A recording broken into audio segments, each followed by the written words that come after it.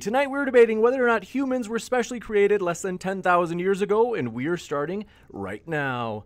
With the creation side, Dr. Mark and Mr. Kolbe, thanks for being with us. The floor is all yours for your opening statements.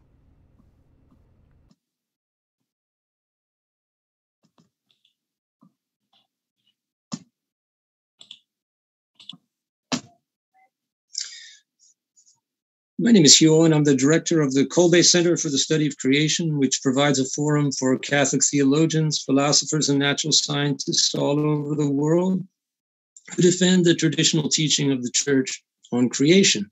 So, how do we know that God created man less than 10,000 years ago? We know because he told us so. Dr. Kevin Mark and I are directing all that we say in love to those of you in the audience who are seeking the truth.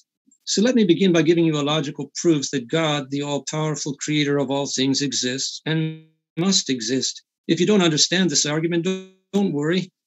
I'll introduce you to God in another way that will be much more direct and personal after this introduction. Number one, there must be something that exists by necessity. Otherwise, nothing would exist given enough time if the universe is infinite in time, and at the beginning of time if the universe was created. Because if nothing is the agent, then nothing is the result.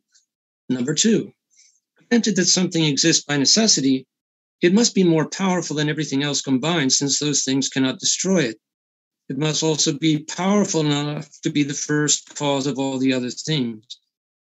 That which is the first cause of all other things has demonstrated the maximum power possible to demonstrate. And since it exists by necessity, it also has power greater than anything possible in the future. Therefore, its power is infinite. Number three, a thing which knows all is more powerful than one which does not. Therefore, this being is all knowing. Number four, goodness is what is desired. But what is desired by anything is its perfection. And so, goodness in anything is its perfection. In any contingent thing, a thing that is not the cause of its own existence, has some range of possible goodness it is capable of. But the necessarily existing being of infinite power has the greatest possible goodness. So, God is infinitely good, which means infinitely desirable. Now, all living things testify to the existence of the Supreme Being, to his all knowing intellect, and to his all powerful divine will.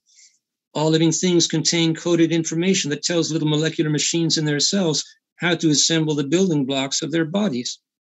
The simplest code requires an intellect and a free will. The coded information living things is far more complex than anything that human beings have invented.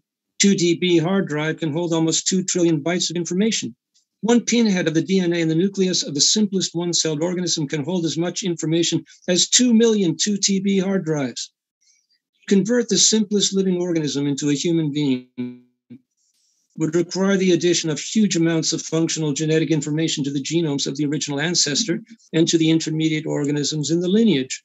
The spontaneous addition of new functional biological information would endow an organism with an organ or function that was not coded for in the parent's genome has never been observed. Thus, evolution is a hypothesis without a viable mechanism, whereas manifestations of God's supernatural creative power have been witnessed by innumerable witnesses since the beginning of time.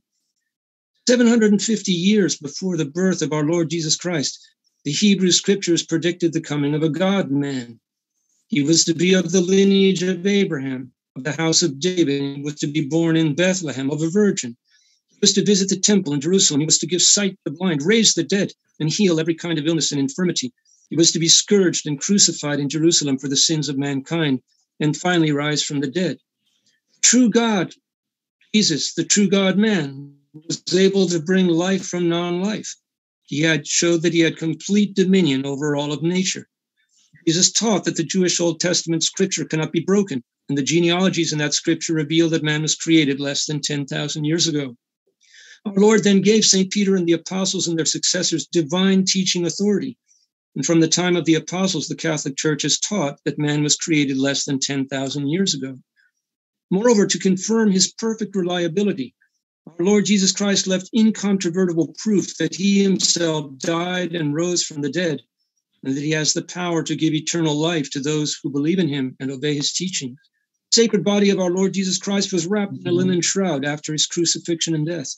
At the moment of his resurrection, he left a miraculous impression of his body on the shroud, which has been treasured by his disciples down to the present. History records only one person who was scourged, crucified, had a lance wound in his side, and a crown of thorns. The blood on the shroud is post-mortem blood. NASA developed an instrument which is called the VP8 image analyzer to map the surface of the moon. It can distinguish minute differences between light intensities. Pictures have shapes and colors and do not contain this light intensity information. But a photographic negative of the shroud shows a consistent 3D relief of a human body. No other photo on Earth will produce this effect. On a sample of the Turin shroud, scientists applied a new method for dating ancient linen threads by inspecting their structural degradation by means of wide angle X ray scattering. The experimental results support the hypothesis that the Turin Shroud is a 2,000 year old relic as held by Christian tradition. In the 1980s, a study was examined the limestone strontium dust found in the Church of the Holy Sepulchre in Jerusalem, believed to be the burial tomb of Christ. This same limestone strontium dust was found on the Holy Shroud. This is compelling evidence that the shroud was once in the Holy Sepulchre. A study was conducted by a team of researchers from the National Agency for New Technologies, Energy and Sustainable Economic Development in Italy.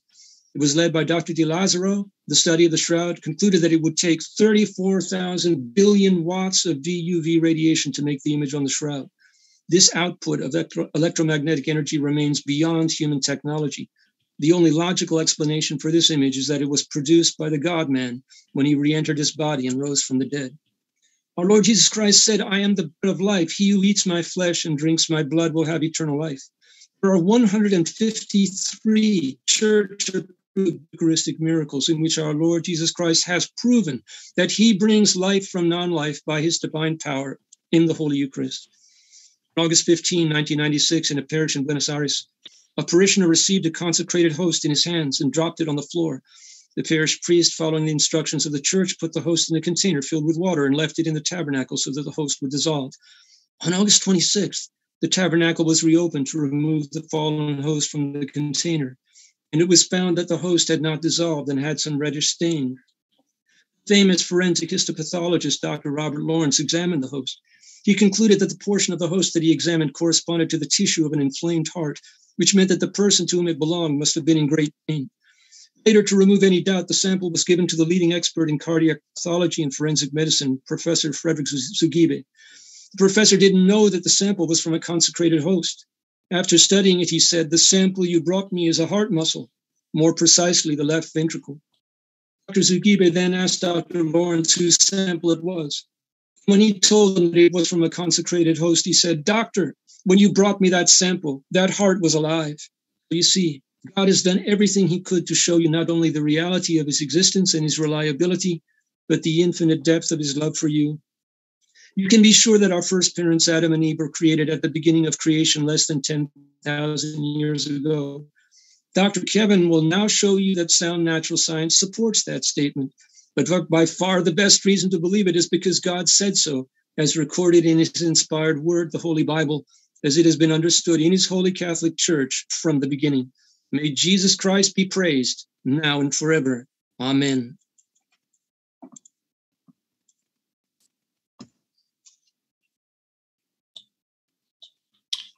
Okay. Um, I'm Dr. Kevin Mark, board member with the Kolbe Center for the Study of Creation. And I'm convinced man was created less than 10,000 years ago by a special act of God.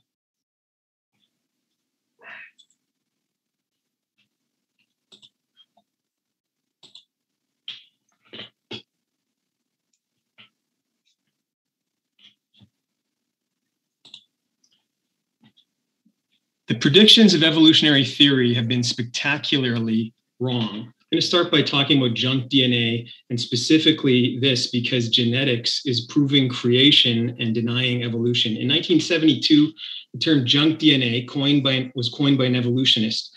Evolutionists argued that the genome must be almost entirely non functional junk because if most of the genome were actually functional, the rate of harmful mutations would be much too high, which would lead to g- genetic degeneration or de evolution.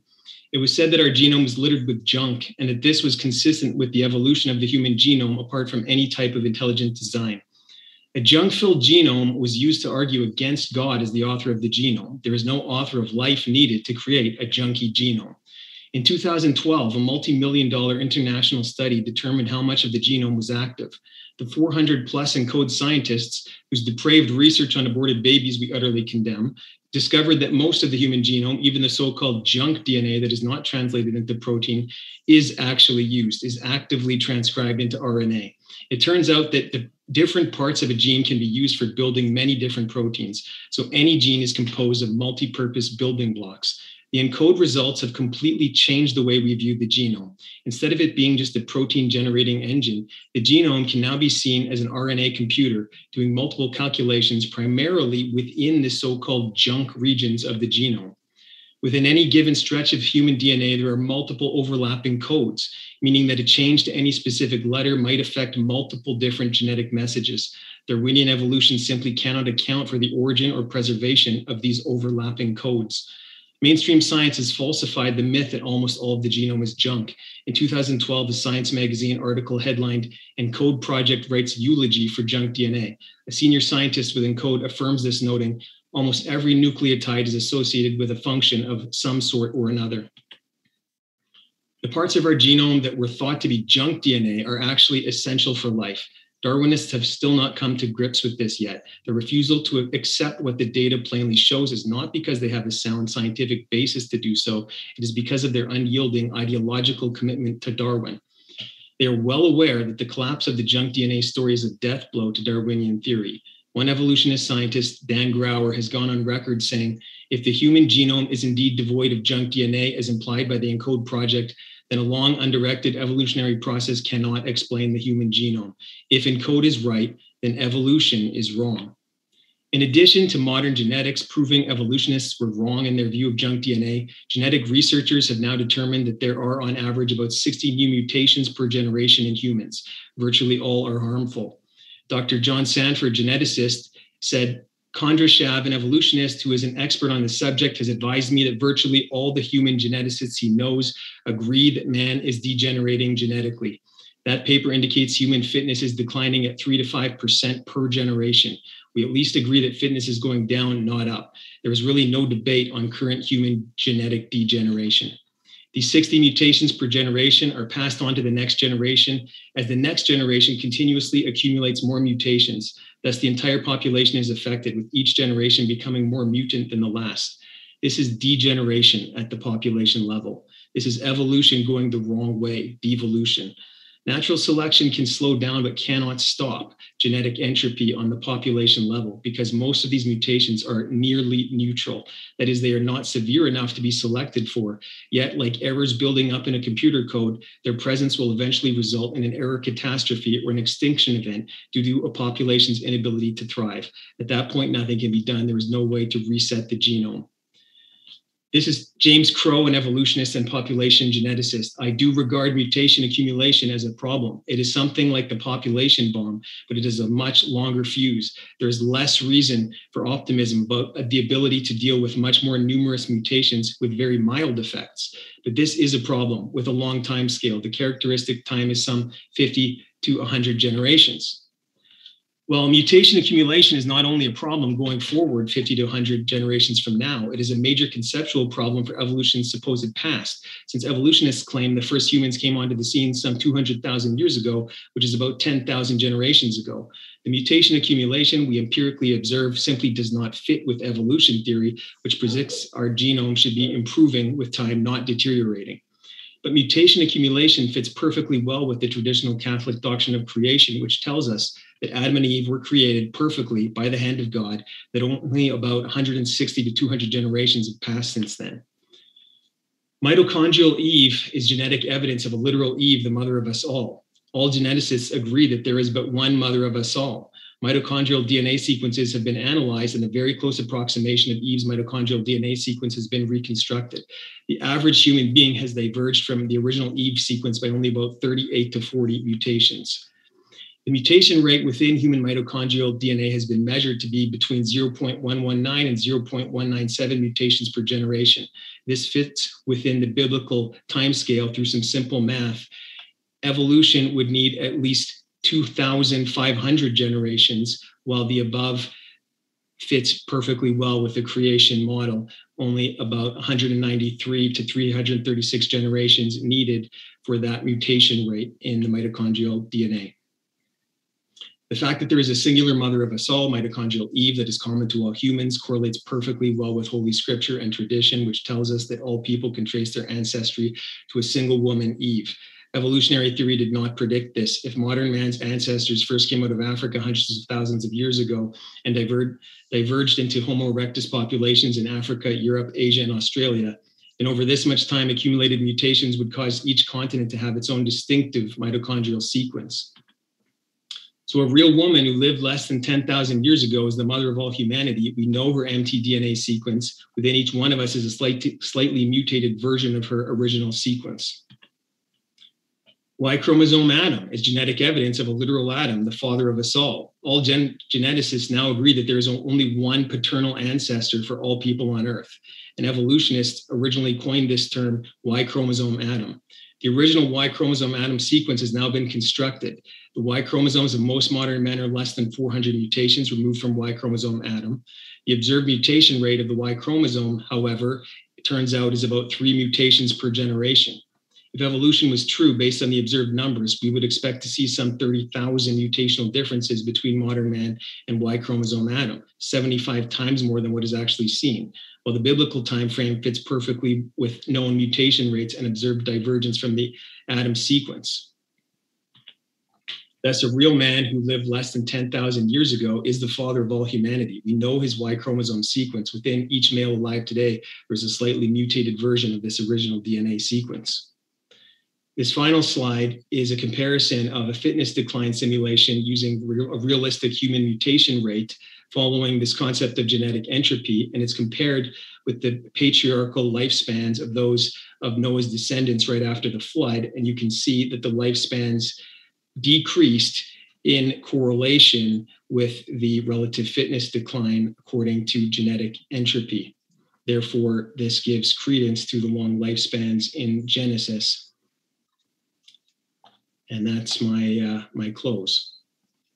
You got it. Thank you very much for that opening statement. And we're going to kick it over to the Atheist team. So, want to say thank you so much for being with us tonight and want to also welcome you. If it's your first time here at Modern Day Debate, we are a neutral platform hosting debates on science, religion, and politics, and we hope you feel welcome whether you be Christian, atheist, Muslim, you name it. We are glad that you are here. And don't forget to hit that subscribe button as we have many more juicy debates coming up. For example, at the bottom right of your screen, David Wood and Nadir debate on whether or not there's scientific evidence for Muhammad being the one true prophet this Saturday. You don't want to miss it. Hit that subscribe button. With that, thanks so much, Tom and Mark. The floor is all yours. Uh, who wants to go first? Tom, do you want to go first? No, you can take it. All right. Um, I just got to share my screen briefly. Uh, just give me one second. Uh, okay.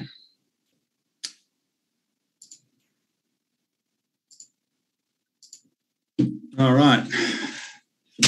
Greetings, my name is Mark Reid and I'm joining Tom Jump here. Thanks to Modern Day Debate for giving us this opportunity, and thanks to my opponents for joining us and presenting um, an opposite side and something to uh, debate against. Today we're debating were humans specially created 10,000 years ago? And uh, I'll be with Tom, of course, taking the negative. Um, in truth, um, we have an easier time. We basically um, do not have to uh, believe in special. All we have to do is, is show there's no good evidence for special creation over any other hypothesis out there for the origin of um, humankind. Um, it's up to our opponents to demonstrate the, uh, this claim, some positive evidence towards this claim, instead of just attacking an alternative hypothesis. Um, so I'm just going to run through, I've got a very quick presentation. I just want to run through a couple of my biggest problems with special creation, just what I have problems and why I cannot possibly believe that special creation is true. And, and these are just sort of a few points. Um, that I'm going to outline. Um, the first one is that the design arguments that it was a special creation that was designed, they've got problems with the design. And I'm just going to point out a couple of examples of that. Um, there's fossils that we have dated more than 10,000 years. This just throws the 10,000 year thing completely out the window. And we have artwork and artifacts older than 10,000 years. Um, and these have all been um, dated by experts. Um, they're not in contention that you know the only people that contends with them are people with a bias towards their own beliefs. And um, as as you probably do know or you you might know science is supposed to eliminate bias not lead towards it. Um, so the first one is the problems with design, and this is one of my my favorites. Um, it's the recurrent laryngeal nerve, and basically, um, and I'll just get a pointer here so you can see that the, the nerves of everything like they're basically the same, although in different configurations. You've got this nerve, which has basically been brought further and further down. And uh, I wish I could find a better picture. I do apologize. I had to throw this together uh, quite quickly. Um, but basically, as, as the heart travels down here, um, the, they, the aorta comes further and further lower, but this, this nerve is still wrapped under it, basically. And so the design, or the design, I should say, um, the, the, the anatomy eventually ends up with a nerve connecting from here to here, going all the way down throughout the body, wrapping around the aorta and um, or the, the second aorta, and then coming all the way back up to the top. Now, this is the worst design you will ever see in your life. There is no no reason for this. It causes massive problems. Um, there, there's there's no absolutely no reason why it should be the case. Yet it is so. This is this is the way the anatomy is structured. To so to connect a, a sort of you know couple of inches, it goes for this massive detour. Now it gets even worse, and I do realize we're not doing evolution today, so I'll just breeze past this. But this is it in a giraffe. It's essentially the same. The black is the nerve. It goes all the way down the giraffe's neck, wraps under the aorta, and back up the top. It is one of the stupidest designs you will ever see anywhere on the face of the planet. Um, the second one that I've got, so um, the, the problem here is that the creationists that they would have to claim that it was designed to, to be badly designed. And that's my problem with it. Um, if it was designed from a top-down method, it would it would it was basically designed to look like it occurred naturally, like from a bottom-up sort of process rather than top-down. Um, this is a really weird thing, but it does suggest it was developed over time, not through some act of special creation. Um, wisdom teeth is another one of my favorites.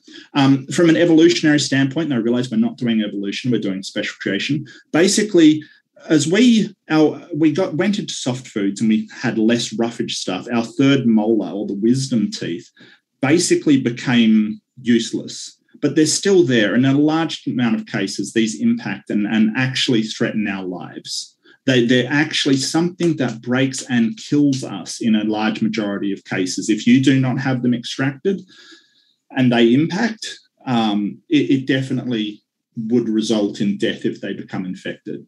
Now, this is the worst design you could ever put. Something that has no function that you put into your design that breaks and destroys the thing you've designed. It is the stupidest design you'll ever see on the face of the planet. Now, the fossil record this is Lucy. Meet Lucy. Now, Lucy is um, Australopithecus afarensis. Um, she was found, I believe, 3.2 uh, uh, million years old.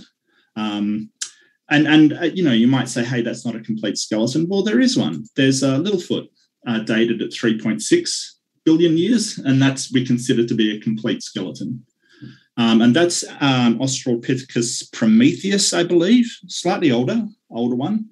But the, the thing is that there's been hundreds of fossils found, and all of them seem to reach the same conclusion.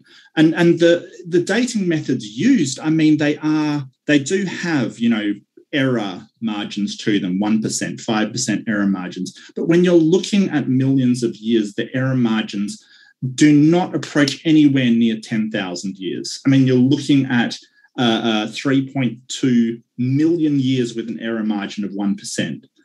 Um, uh, in some way, you have to go through and debunk every single one of these fossils, and there are literally hundreds and hundreds and hundreds of them. Um, so, in order to demonstrate uh, special creation, you would have to debunk all of these. Now, artwork. This is from Blombos Cave, South Africa. I realize this isn't a very good picture, but we do know the ochre used here is at least 73,000 years old. Um, it has been tested by experts. It is that age. Um, again, there is Borneo, 40,000 years old. Um, uh, um, you, you, have uh, in Germany, 35,000 years old. Uh, this is uh, called the Lion Man statue. It's an anthropomorphic figure with an animal head. We're not even sure if this is some kind of religious figure. It may be, it may not be, but it certainly is not younger than 10,000 years, not in the slightest. Um, and lastly, from my own home country, Australia, this is 17,000 years old, minimum. And they think it may be anywhere up to 40,000 um, depending on the artwork that is around there. Um, th- this is absolutely ridiculous that that people do think that the world is less than 10,000 years old with, with every single thing that, that we've got there. Um, so I'm going to see if there's any reliable, robust evidence for their special creation rather than against any other hypothesis that uh, has come up and I'll certainly enjoy talking to uh, Dr. Mark and uh, Mr. Owen about um, their their evidence here. Um, that's about all I've got. Um, so I, I, do thank you for your time. Sorry, I'll stop sharing the screen when I can. My apologies. Thank you very much. We'll kick it over to T Jump. That's okay. I can do it on my site. All right. Yeah, please. yeah, I got it. Thank you. Thank you.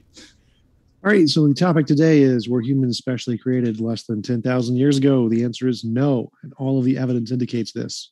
Um, in order to test if one theory is better than another theory, all you have to do is look at what the theory can predict that we will discover in the future. Which one of the models, the creationist model or the scientific evolutionist model, has been able to predict future things before we have discovered them? As far as I know, creationism has never, ever predicted anything successfully ever in the history of ever. Uh, as far as I know, science is the only thing that does that. Science accurately predicted the evolution of ants and where we would find the fossils transitioning from different kinds of ants and bees and hornets. Uh, evolution or creationism didn't predict that. Um, evolution correctly predicted that certain kinds of double jointed jaws that were found in mammals at this particular layer and location they would find them before we actually discovered them pretty good prediction. Evolution predicted that Tiktaalik, a transitional fossil between a fish and a lizard, would be found at exactly the particular strata it was found in before it was found. Evolution predicted that DNA patterns and um, endogenous retroviruses patterns would exist in particular species that we already predicted were related, and that was correct. All of the predictions of evolution have been confirmed. All of the predictions of creationism, well, they just there just aren't any. So any model is able to accurately predict the future and tell us what we're going to discover before we discover it is rational to believe that it tells us or corresponds to reality. If a model cannot do that, if it cannot ever tell us something about the future we haven't discovered yet, then it's not reasonable to believe it's true. It's just most likely made up. That's the fundamental difference between creationism and evolution. Evolution can predict things in the future. Creationism just complains that science is predicting things and finds things that are hard to believe. And that's it. No predictions, no progress, nothing that we can use, nothing that makes any kind of difference to any academic field whatsoever. It's just explaining away past data that science is done with. But the ones making the progress, those are the scientists. They're the ones that evolution are indicating in every possible realm of every academic field. Um, a few other lines of evidence. Obviously, all of the evidence is that the world was created 13.8 billion years ago. If the world was created 10,000 years ago in some respect, that would mean that God must have created photons already in transit from stars that never existed. So, like, we have light in the sky that came to us from billions of years ago, from billions of light years away. Uh, but if we were only created 10,000 years ago, then God must have created those light uh, photons at about the stage of like Jupiter or something, and didn't even bother creating the stars that they came from. It just looks like they came from stars. Completely implausible. Uh, there's many other implausibilities of the stories of creationism, why it completely fails, but really the main reason is no predictions. If you have no predictive power, if you can tell us nothing about the future, your theory is debunked. And I will conclude there. With that, we're going to jump into rebuttals, and this is 10 minutes from each team. Also, want to let you know, folks, if you haven't yet, click that share button below as you probably have a friend who enjoys debates like these and you can click that share button below this video to share this link with them so they can enjoy it as well. With that we're going to jump into the first rebuttal section. And thanks so much dr mark and mr Kolbe the floor is all yours. Hey hugh do you want to go first or should i? I am happy to go first on my top of my screen is blocking me from going to PowerPoint. Um, I mean, to the PowerPoint slideshow. Just one second. Okay, I moved it over. We're all set.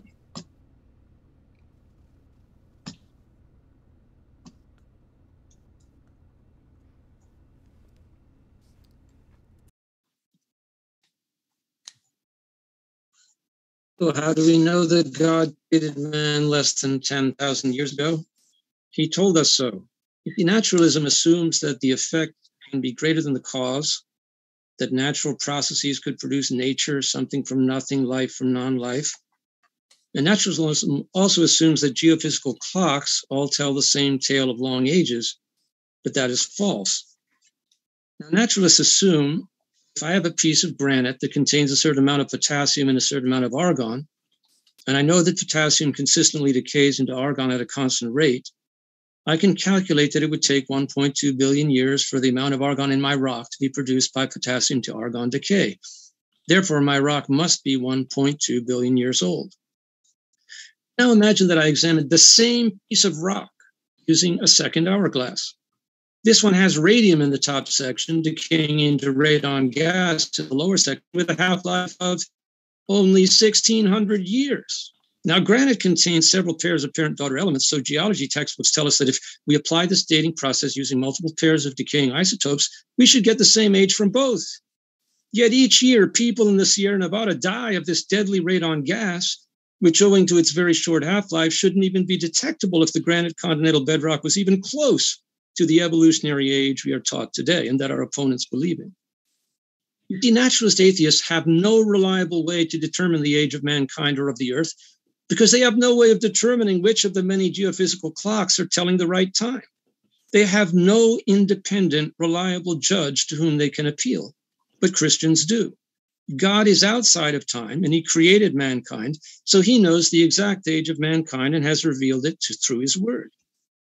Those who embrace a naturalistic worldview like our opponents also blind themselves to the greatest part of reality, which is the spiritual world, both the good spiritual world of God, angels, and saints, and the world of evil spirits who try to turn us away from God in his revelation, especially in regard to creation. 1908, 1908 Madame Marie Brouillet diagnosed the suffering from blindness from bilateral optic atrophy due to severe injury to her brain. On the 5th of August in 1908, after attending Holy Mass at the Grotto at Lourdes, France, suddenly her sight returned. Examined by an oculist the same day, it had to be admitted that although she still showed signs of retinal pallor of cerebral origin, she could read the smallest print in a newspaper. In other words, she could see even though she did not have the physical hardware necessary for sight, which proves that she was seeing with her soul and not with her brain. Now, our Lord showed that he had to work two miracles with every cure of blindness. First, he had to fix the hardware, the physical basis for sight. Secondly, he had to infuse into the person's nervous system the knowledge of how to use that hardware to see. Who wouldn't trust the word of such a divine wonder work? It's also extremely naive to close one's eyes to the reality of evil.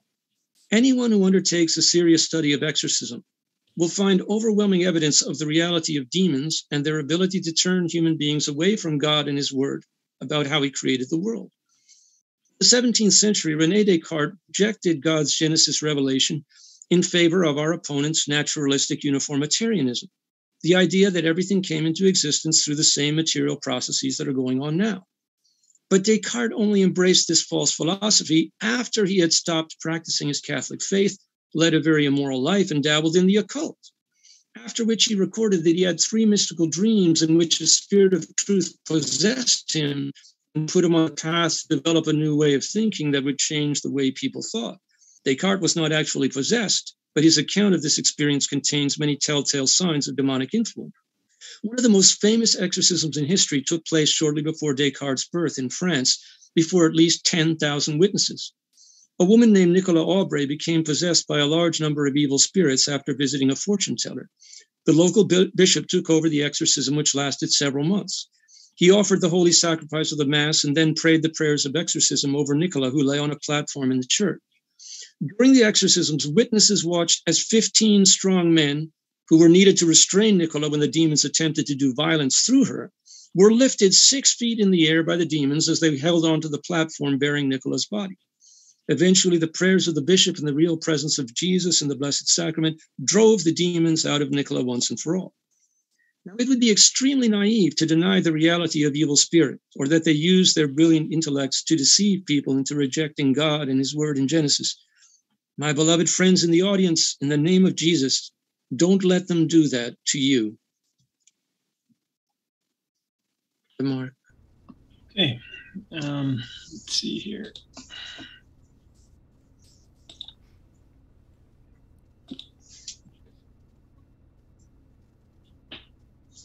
Okay, so um, I want to start start by uh, talking about wisdom teeth that Mark brought up. Um, I'm a dentist, and I often get the question, why do we have wisdom teeth? Well, the answer is very simple. Wisdom teeth are just as good as any other teeth, and we are designed to have them. Most people in the world have their wisdom teeth, and they've come in just fine. The people that don't have their wisdom teeth come in properly are people with soft Western diets, like most Caucasians. And the answer as to why that happens is because it's nothing to do with evolution. It's because when we are uh, eating these soft diets and not chewing coarse food, we tend to develop smaller jaws because our musculature isn't growing as much, and therefore we're causing problems for ourselves. I mean, this is the same reason we get crooked, crowded teeth. Um, and cavities, for that, imagine, uh, for that matter, are poor diets. Um, Native Africans and Australian Aborigines who uh, have coarse diets, their wisdom teeth come in perfectly and they don't have problems of this type. Uh, breastfeeding is also something that unfortunately doesn't happen very much in our society. And this is one reason why people's jaws don't develop well enough and also um, cause wisdom teeth problems. Do people have problems with wisdom teeth? Yes, definitely.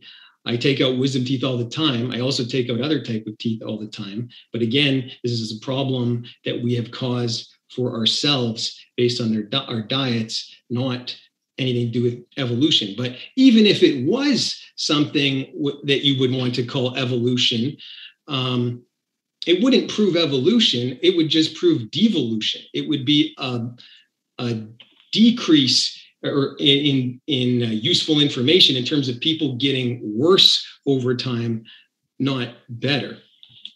And this goes for the uh, any type of vestigial organ argument. Um, this idea that um, we have vestigial organs that are useless. Um, that's the reason why um, tonsils used to be taken out all the time, even prophylactically, and only later was it um, found out why that was so wrong, um, that people are having more diseases um, in, in their respiratory systems as a result of taking tonsils out. That was driven by evolutionary ideas that tonsils were vestigial organs. Um, and let's uh, just talk a little bit about um, paleoanthropology. So, um, this idea that we have somehow um, proven that we've evolved from ape-like creatures is false. I mean, look at these quotes from evolutionists. The once popular fresco showing a single file of marching hominids becoming ever more vertical, tall, and hairless now appears to be a fiction from um, the uh, International Chair in Paleoanthropology um, in Paris, France.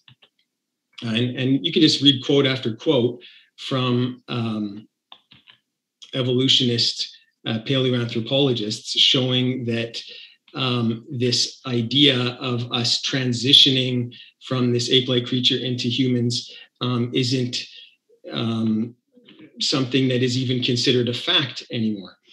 Um, and then I want to just talk a little bit about um, that the idea that um, starlight somehow proves the age of anything. Uh, well, in the Big Bang Theory, the laws of physics are broken all the time. Um, and it seems to be fine for scientists who hold to this paradigm to basically invent whatever they want to fix up the theory, um, and including some scientists who say that uh, the speed of light at one time may have been trillions of times faster than it is now. And if the speed of light was during creation instantaneously fast, all of a sudden we don't have any distant starlight problem. And for that matter, the one way speed of light has never been measured. So it cannot even be shown um, what the one way speed of light is, as if this somehow um, proves the age of the universe. Um, the final thing I want to say is that um, this idea that um, all we're doing is attacking evolution and not providing our own model is false because my entire presentation was based towards showing that the genome is almost fully functional, that the um, mutation rate in mitochondria and Y chromosomes um, support creation, and um, that genetic entropy, um, if you go back in time, supports this idea of a perfect original uh, human pair in the beginning as well. So all of these are positive arguments towards creation and not merely just taking shots at uh, evolution. All right, I'll I'll rest my case here. You got it. Thank you very much. We're going to kick it over to the atheist side for their rebuttal as well. And TJump and Mark, thanks so much. The floor is all yours.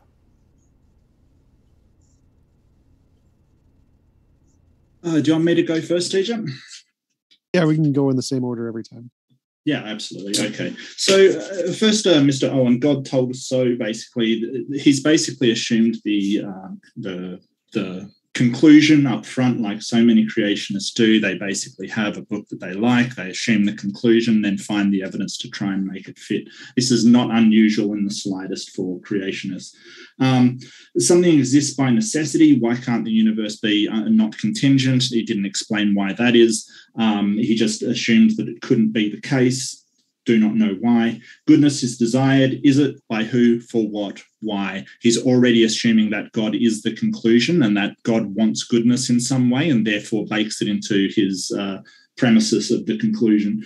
Um, all, all, things are a testament to supreme being. Well, this is the look at the trees argument, basically, that, hey, uh, if we assume that everything was created by God, then everything is evidence of God.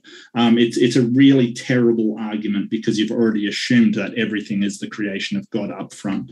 Um, uh, code requires intellect and free will. Um, you're conflating sort of biological, you know, DNA code with computer code. Um, it's done a lot. Um, in fact, I believe you mentioned computers at one point. It might have been um, it might have been Dr. Mark that did though. Um, so most of this was God of the gaps, um, arguments from incredulity. they basically have a, a, book to support this. Um, in fact, in fact, uh, uh, said that the best evidence is the Bible, and I think that rings true. The best evidence is a, you know, thousands year old book written by primitive peoples with no understanding of science. I would actually agree with him on that one point. That is his best evidence. Um, the, the Shroud of Turin. Now, the Shroud of Turin is an interesting one to bring up because it's sort of just ridiculous in the idea that it's an actual artifact. Um, the Shroud of Turin is a two dimensional image, which is weird because it's supposedly laying on a three dimensional body. You'll notice there's no top of the head.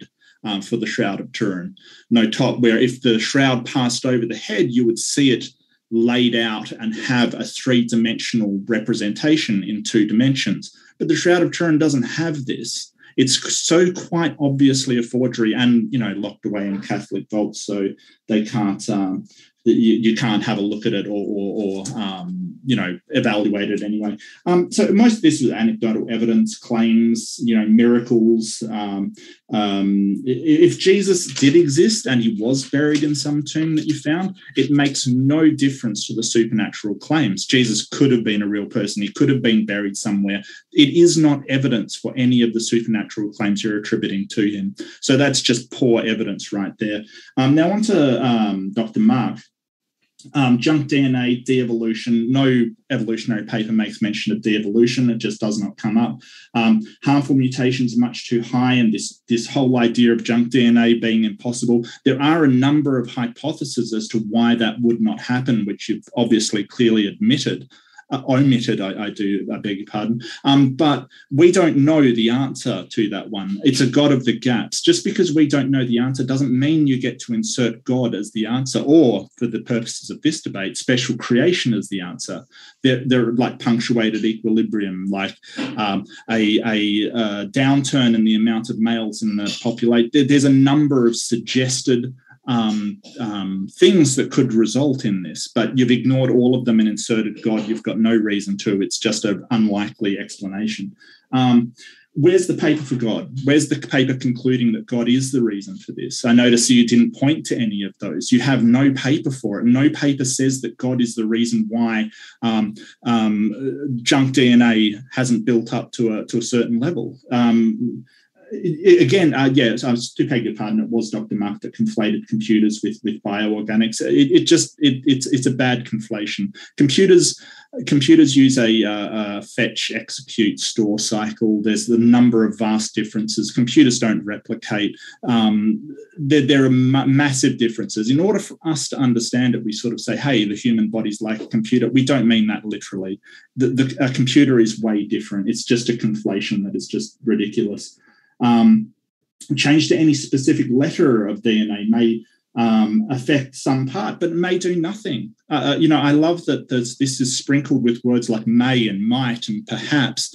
Yeah, but it might do nothing at all. Um, sort of you know, which computer code that that certainly doesn't happen. Let me tell you, um, your, your sort of coloring of, of evolutionary scientists is refusing to accept things. This this whole thing of a conspiracy for some reason they would sort of invalidate their own work by by not chasing down the truth, I think, is ridiculous. Uh, I think that uh, evolutionary biologists, like most scientists, follow where the evidence leads.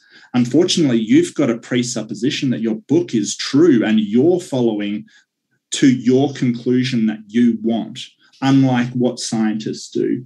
Um, um, you know, and, and I love how it says virtually all mutations are harmful and some are not.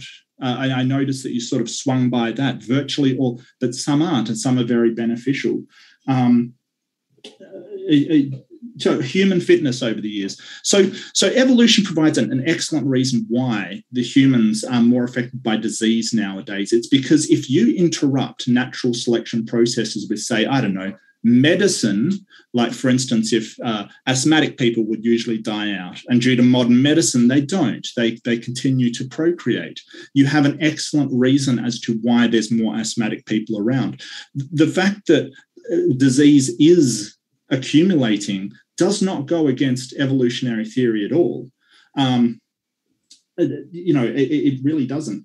The the other reasons, yeah, I've already been through that. Um, now it's interesting that you said the Catholic perspective was the one that you pay attention to, Dr. Mark. I find that odd because the Pope himself said um, that evolution is true, Big Bang Theory is true, and that God is no wizard. And I quote um, Pope Francis verbatim for that one. Um, so uh, it, it's very strange that a Catholic would basically say, well, the Pope is wrong. Um, you know, you have to explain that one to me. I don't know how you got there.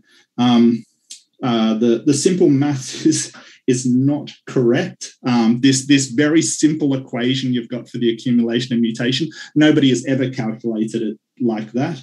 Um, and uh, yeah, and, and, and, a lot of this is just cherry picking. Now, I do notice you, one of your graphs, it did not come from a paper, and it was was very very strange. Um, it was genetic entropy and the mystery of the genome. Although it kind of looked like you were quoting from a scientific paper, you were not. That is a paperback. It is just a book, and anyone can write a book.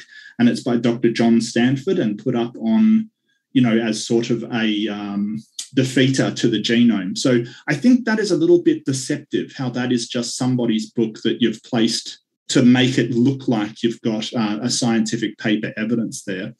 Um, but I'll leave it there, and that's my uh, review of the uh, incoming arguments. Thank you. All right. Uh, so to review, they didn't actually provide any evidence. They provided a hypothesis. Uh, the difference here is that a hypothesis is when you look at data and you try to explain the data. It's post hoc, ergo propter hoc. If you try to then take that data and say, ah, because it can explain the data, therefore it's evidence, it's true.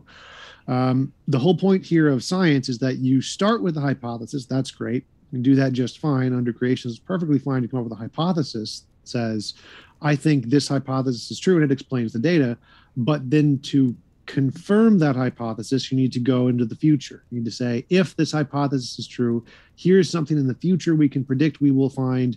If we discover it, that would be then evidence. But they didn't provide any of that second step. They only provided the first step. Here's some evidence or some here's some data point that we see, and we can explain it. Well, that's nice. Literally every hypothesis can explain it. It's called the problem of underdetermination in philosophy. You can say a magical leprechaun farted out the universe five seconds ago, and that would explain all the data we see also. It's not evidence that it actually occurred. For it to be evidence, you need to then take your hypothesis and say, if it explains this data and it's true, here's something we'd expect to see in the future. None of that was presented, and so no evidence for creationism was presented whatsoever. All that was presented was post hoc, ergo propter hoc. Uh, we can explain the data therefore our hypothesis. Using the Bible to prove God is like using Lord of the Rings to prove hobbits. So saying that the best evidence is the Bible, well, then the best evidence for hobbits is Lord of the Rings. It's it's not really great evidence. It's in fact not evidence. Uh, they brought up that nothing is an agent, uh, and if there's no agent, things can't exist. Well, that's just patently false. Quantum mechanics is the best field, the best evidence-supported field of things essentially being created from fields or nothingness. No, no one in physics thinks there's actually a literal philosophical nothing. There's just not a thing in physics. Um, and there's no evidence of non-physical minds. All of the minds that we have evidence for came from brains, which require physical space-time and millions of years of evolution. There's no evidence of any kind of mind being able to do anything outside of space-time whatsoever. There is evidence that quantum fields can do things outside of space-time. That's something that is a real evidential basis. So if we're comparing the two, uh, quantum fields is the superior model there to explain the data. Um, all the data they presented was essentially wrong. Shroud of Turin is debunked, as mentioned by Mark. Uh, wide X-ray scattering is not a legitimate source to date things. All it does is it measures the spraying of different particles and how it reflects x-rays. It doesn't actually measure dates at all. That's why no one uses it. Uh, junk dna means non-coding not non-functional. He's just conflating the ENCODE definition of non-functional which is redefined to a broader definition not used in biology. So it's all just a basic misrepresentation of the data. With that we'll jump into second rebuttals. This is another 10 minutes.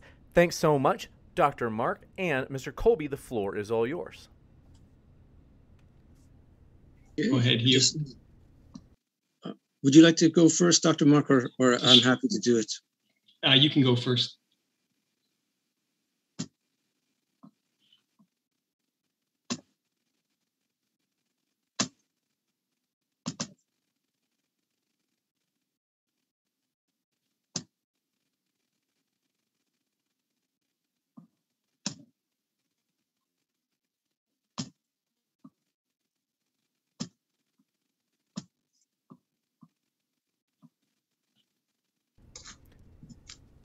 Friendly reminder, folks, our guests are linked in the description. If you want to check them out, you certainly can to learn more about their views. So, um, as a matter of fact, the argument used at the beginning for the existence of God was not refuted by either of our opponents. Um, something that's contingent is does not explain it's not the cause of its own existence and if we simply use common sense we can tell that the universe is not self-existing because it's obvious that it could be different than it is. So people there are people who've tried to deny the principle of cause and effect but nobody ever actually doesn't apply that principle in everyday life or they would be locked away in an insane asylum and so it's it's simply common sense logic that a contingent universe has to have a first cause that is non-contingent. And that means that that first cause has all the perfections that we associate with god the supreme being. Now there's so many things to respond to in what you said but uh, i'm going to uh, respond to the claim that both of you made that the, the Catholic framework or the Catholic understanding of creation doesn't provide any predictions and is basically useless for the natural sciences. Well, in reality, nothing could be farther from the truth. As a matter of fact, the traditional Catholic doctrine of creation gave the most perfect framework for doing scientific and medical research. And the replacement of that framework with the naturalistic uniformitarian evolutionary framework, I'm going to show you, is the greatest disaster that's ever happened to science and medicine.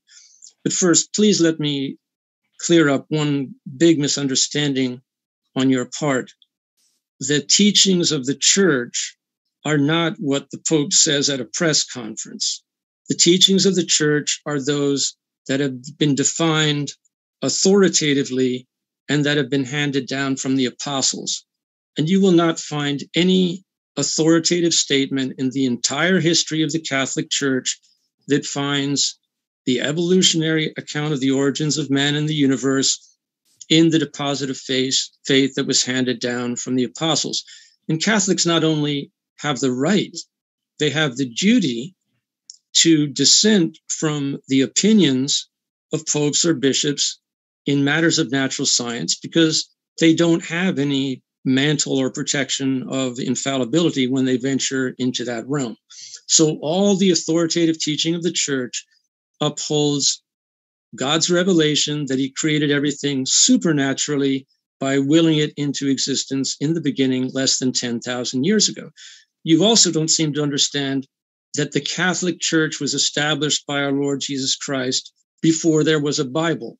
The Catholic Church gave us the Bible. That's why the Bible calls the Catholic Church the pillar and foundation of the truth. So again, you've grossly misrepresented what Catholics actually believe and teach. Now, let me go on and show you how the Catholic Church has given you and all scientists and truth seekers the best framework for doing fruitful scientific and, and medical research. Because according to our framework revealed by God, we live in a lawful universe of well designed creatures, marred but not ruined by the effects of original sin, whose function but not their origins can be discovered through rational investigation. Sir William Harvey, who was in England after the Protestant Revolution, worked within this framework and when he was asked how he discovered the working of the circulatory system in the human body, he says clearly that he did it because he presumed that it was a designed system. He formed a hypothesis on that basis. Why would the designer design the system with the valves and the arteries and all the chambers of the heart the way that they are? That's how he developed the hypothesis, which he verified, and that's how he learned how the circulatory system works in the human body.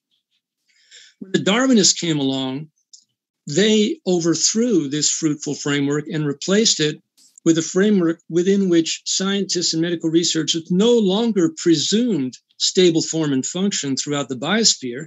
Instead, they perversely presume flux and dysfunction.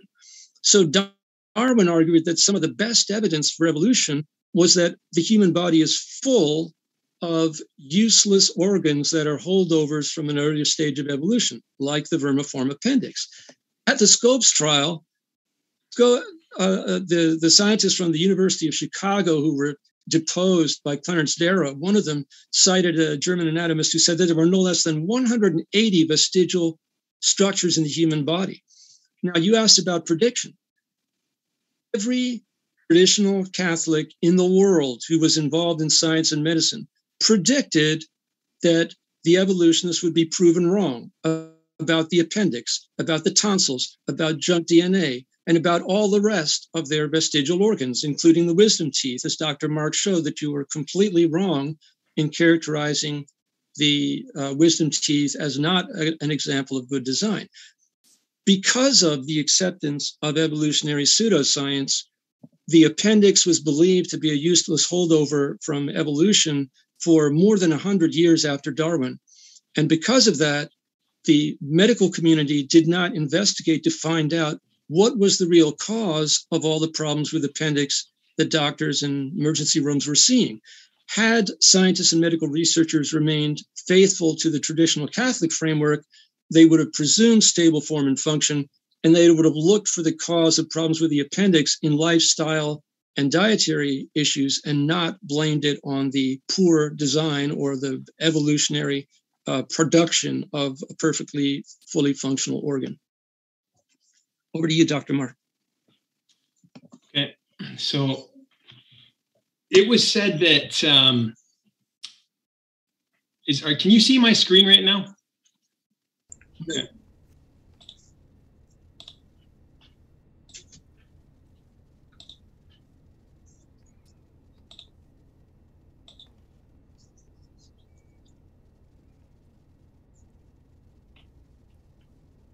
Let me know if you can see it. We can now. Yes. I'm just going to shrink it okay. down. Okay. All right. So it was said that uh, I was misrepresenting what evolutionists said about junk DNA before it was discovered. Well, let's just look go through some quotes here. Much DNA in higher organisms is little better than useless junk. Francis Crick. Richard Dawkins. In 1976, biologists are racking their brains trying to think of what useful tasks this apparently surplus DNA in the genome was doing. But for the point of view of the selfish genes themselves, there was no paradox. The true purpose of DNA is to survive, no more or less. The simplest way to explain the surplus, surplus DNA is to suppose that it is a parasite, or best a harmless but useless passenger hitching a ride, a ride in the survival machines created by other DNA. Why are these evolutionists saying this? Because their paradigm leads them to faulty ideas about reality they predicted that as science went along, it would show more and more that the genome was full of useless junk. It is a remarkable fact that the greater part of the genome might as well not be there for all the difference it makes.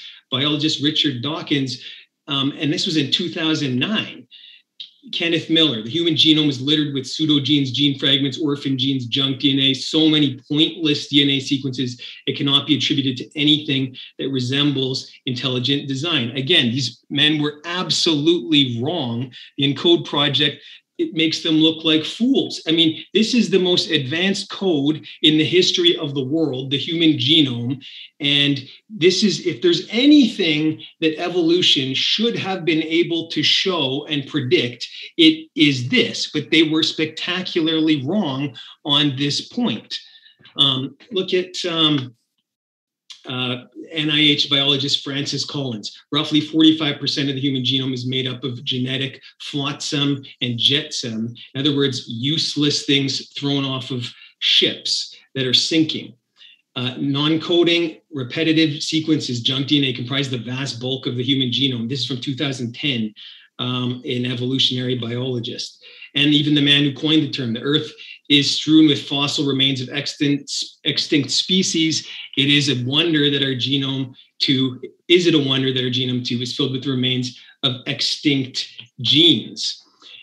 this is again the prime example of where the predictions of evolution lead they lead to faulty ideas the ideas that we're full of junk not only in dna vestigial organs and now we're finding uses for all of these so-called vestigial organs um, predictions of the predictions of evolution haven't been right, they've been spectacularly wrong in this, in the mutation rates, as I showed, of uh, Y chromosomes and mitochondrial uh, DNA and the predictions there. Um, they and overall, of course, they predict um, that our genome should be improving, that it should actually be somehow getting better, more advanced. It should be shown not only in humans, but in other animal species. And this is simply not the case. We do not observe this at all. In fact, now that we know that uh, from generation to generation, our genomes are deteriorating 60 mutations at a time. How exactly do you explain this away when, again, most of these uh, mutations are not selectable. They're nearly neutral. That is, they are building up in the genome, taking away precious resources because the um, RNA is having to copy these. Um, these bad mutations as well and it's just carrying them down over time it's building up building up and we simply do not see any of these beneficial mutations somehow canceling out um, the bad mutations. This has to be explained. You can't just wave it away uh, with your hand.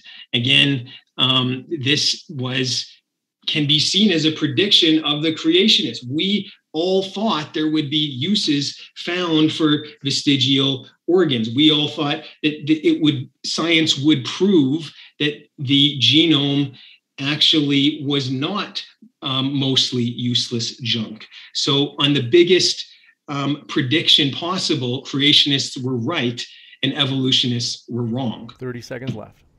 Um, in addition, it was said that there was no other predictions made by creationists. Well, Russell Humphreys predicted the magnetic field strengths of Uranus and Neptune based on a young universe. Um, and, um, you know, when we look at um, some of the other predictions, um, that there's no limit to breeding animals, um, that's basically what Darwin thought dog breeding, fruit fly breeding has proved that false. There is only a limited amount of variation that can happen, and anyone with common sense um, can see that we can't just keep breeding things forever. It, they get strung out, and the genetics fall apart if you try that more. And therefore, artificial selection is just natural selection going at rapid speed, and it fails.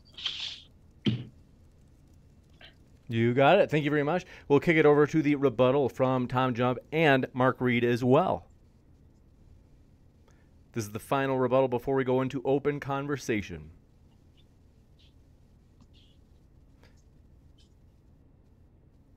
Sorry about that. Thank you very much, James. Um, now, okay, so I'm gonna gonna address this because um, yeah, we've got some some problems here. Um, a whole thing about naturalists assume from Mr. Hugh, um, sort of, I, I, think you're, you're straw manning a bit there, sort of saying naturalists assume this and assume that. No, I'm personally not technically a naturalist. I don't think naturalism is the only explanation that can be posited. I just think that natural explanations happen to be the best because they have the best evidence for them. So when when you're sort of throwing out these these naturalists assume this and assume that, I, I don't think that's the case.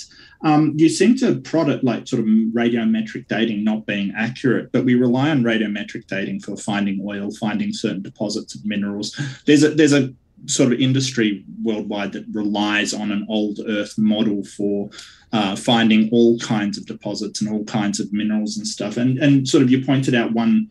Um, there's there's multiple types of radiometric dating that they actually work together to validate an age. So there's uranium, thorium, argon, argon. There's radiocarbon, of course. There's there's multiple different techniques that they use that overlap their time frames so they can be sure that they do have a correct date, dating method.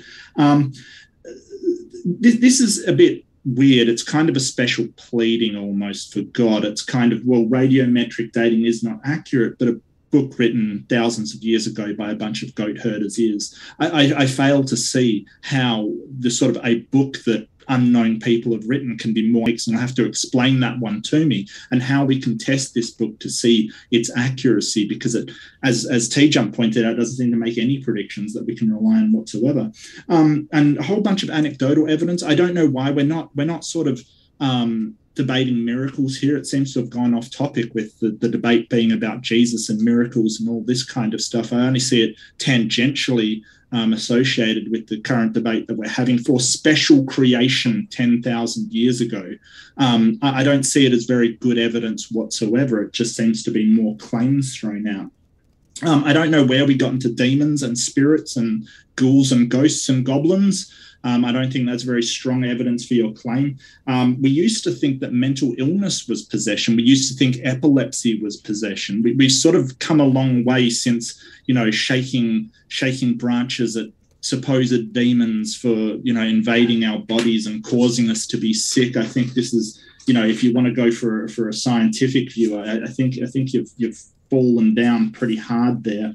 Um, um, so a lot of this appears to be quote mining. And, and I'll point something out that I'm really disappointed in you, Dr. Mark, because you basically are quote mining and you've done it a lot tonight, a, a great deal. And um, genetic entropy, uh, oh, I do apologize, an evolutionary uh, odyssey by Hublin, you pointed out. And let me, let me show you what you quoted. The human career describes one of the most spectacular changes uh, I'll read on. The once popular fresco showing a single file marching of hominids becoming ever more vertical, tall, and hairless now appears to be a fiction.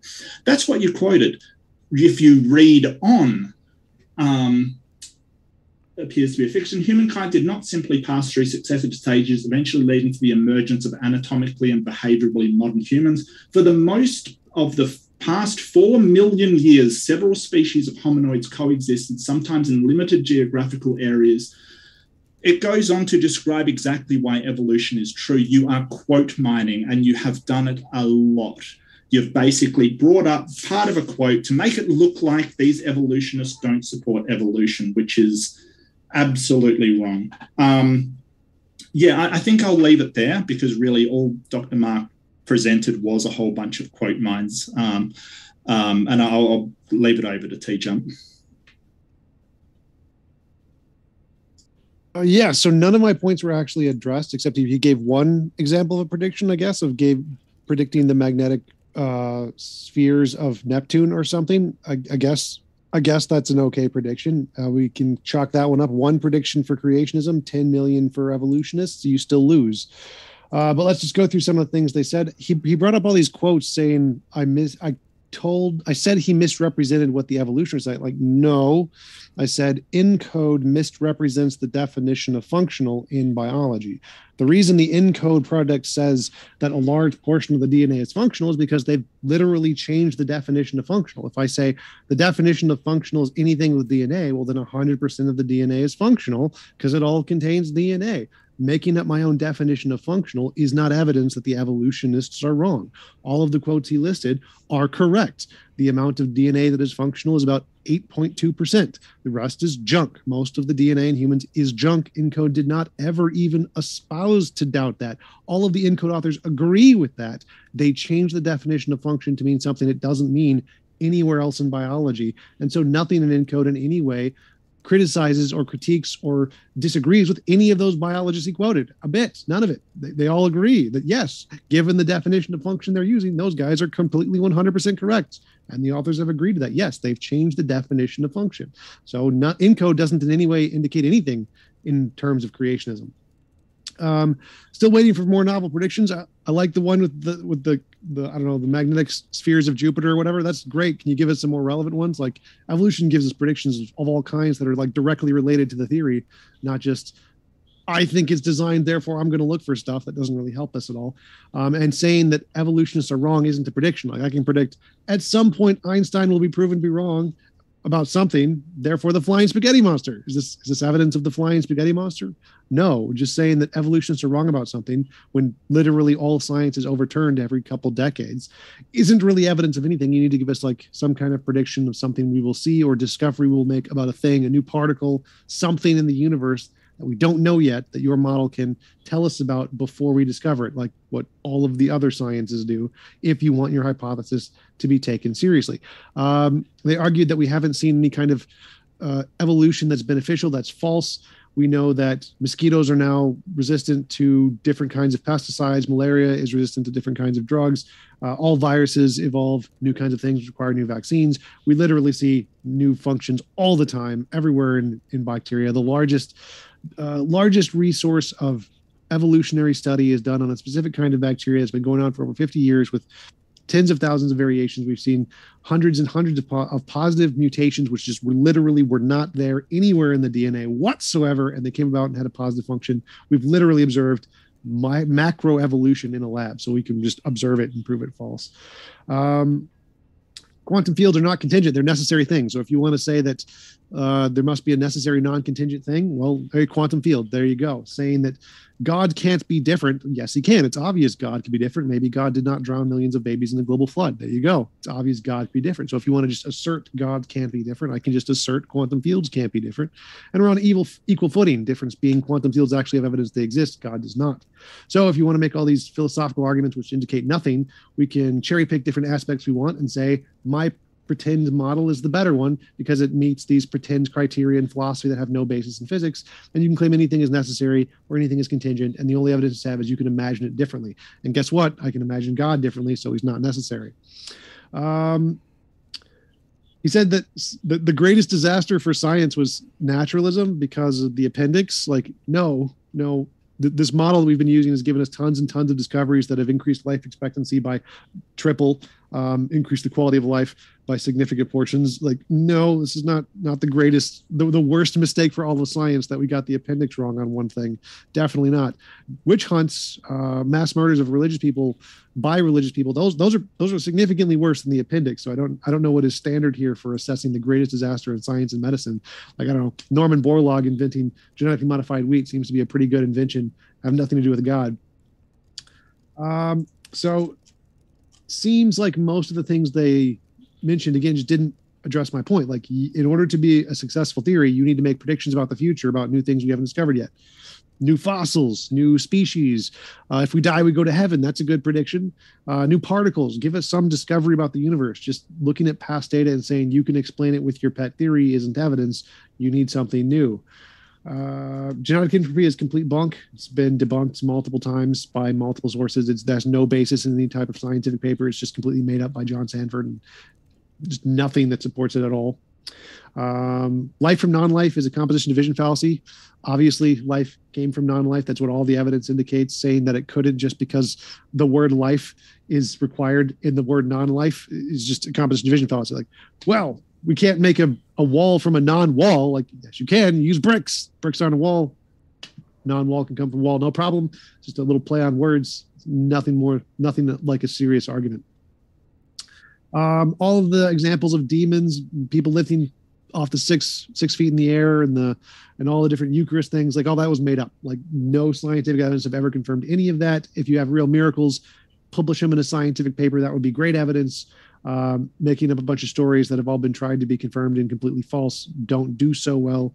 Just pray for a gold brick to appear in front of you. If it happens, that'll be some great evidence. Um, saying that the, the little the, the walking man image was wrong like obviously it's a picture made it's not like a scientific paper that says this literal images of black representations of species is literally how it happened. It's a representation to convey an idea. Saying that that's wrong is obvious obviously there's going to be groups of different individual species living together at the same time. And it wasn't literally one blackout limitation of one individual species that then morphed into another one. Obviously that's wrong. It's not even controversial. Um, no one thinks that, that that little black thing is a literal representation of how actual evolution works. It's just a, something to convey the idea to people in an easier way um, he mentioned the speed of light. There isn't the speed of light issue if it moved faster.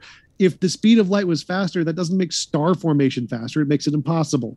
So speeding up light doesn't solve the problem. The problem here is that if God created the world 10,000 years ago, 30 seconds. and light is 8 billion light years away, the star would have to exist first to emit the lights. Otherwise, God must have created a particle to look like a star, but never created the star, which means God is lying to us. We'll conclude there. You got it. We'll jump into open conversation, which is about 20 minutes. Thank you very much, gentlemen. The floor is all yours. Reminder, folks, our guests are linked in the description. So if you'd like to hear more about their views, you certainly can by clicking those links below. And that includes at the podcast, as we actually have a podcast for Modern Day Debate as well. And we put our guest links in the description box for each podcast episode, which is on the podcast within 24 hours of the debate being live. Thanks, gentlemen. The floor is all yours. Thank you, James. Um, actually, T Jump talking about um, the composition fallacy, division fallacy. Um, I, I, there's another fallacy I did forget to mention, and that was sort of the genetic fallacy, a sort of set of a framework. Religion gave us a framework for science and medicine kind of thing. Now that this is sort of a genetic fallacy where the origin is a certain thing, so you say it has to contain that thing or it has to be a part of that thing. That's a genetic fallacy. It doesn't matter where the origin of science came from; it's still valid by itself. It doesn't isn't beholden to religion or or, or uh, you know religious institutions in some way, um, and it doesn't just because science is effective, it doesn't make its origin religion. Uh, in fact, I would argue that the Enlightenment had a lot to do with it as well. Um, but that that's the genetic fallacy, basically, that the origin sort of is the um, colors the thing itself. Uh, I'd love to hear thoughts on it. How does this work, James?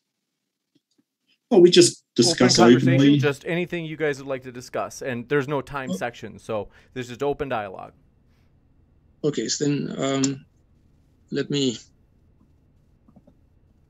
respond to that.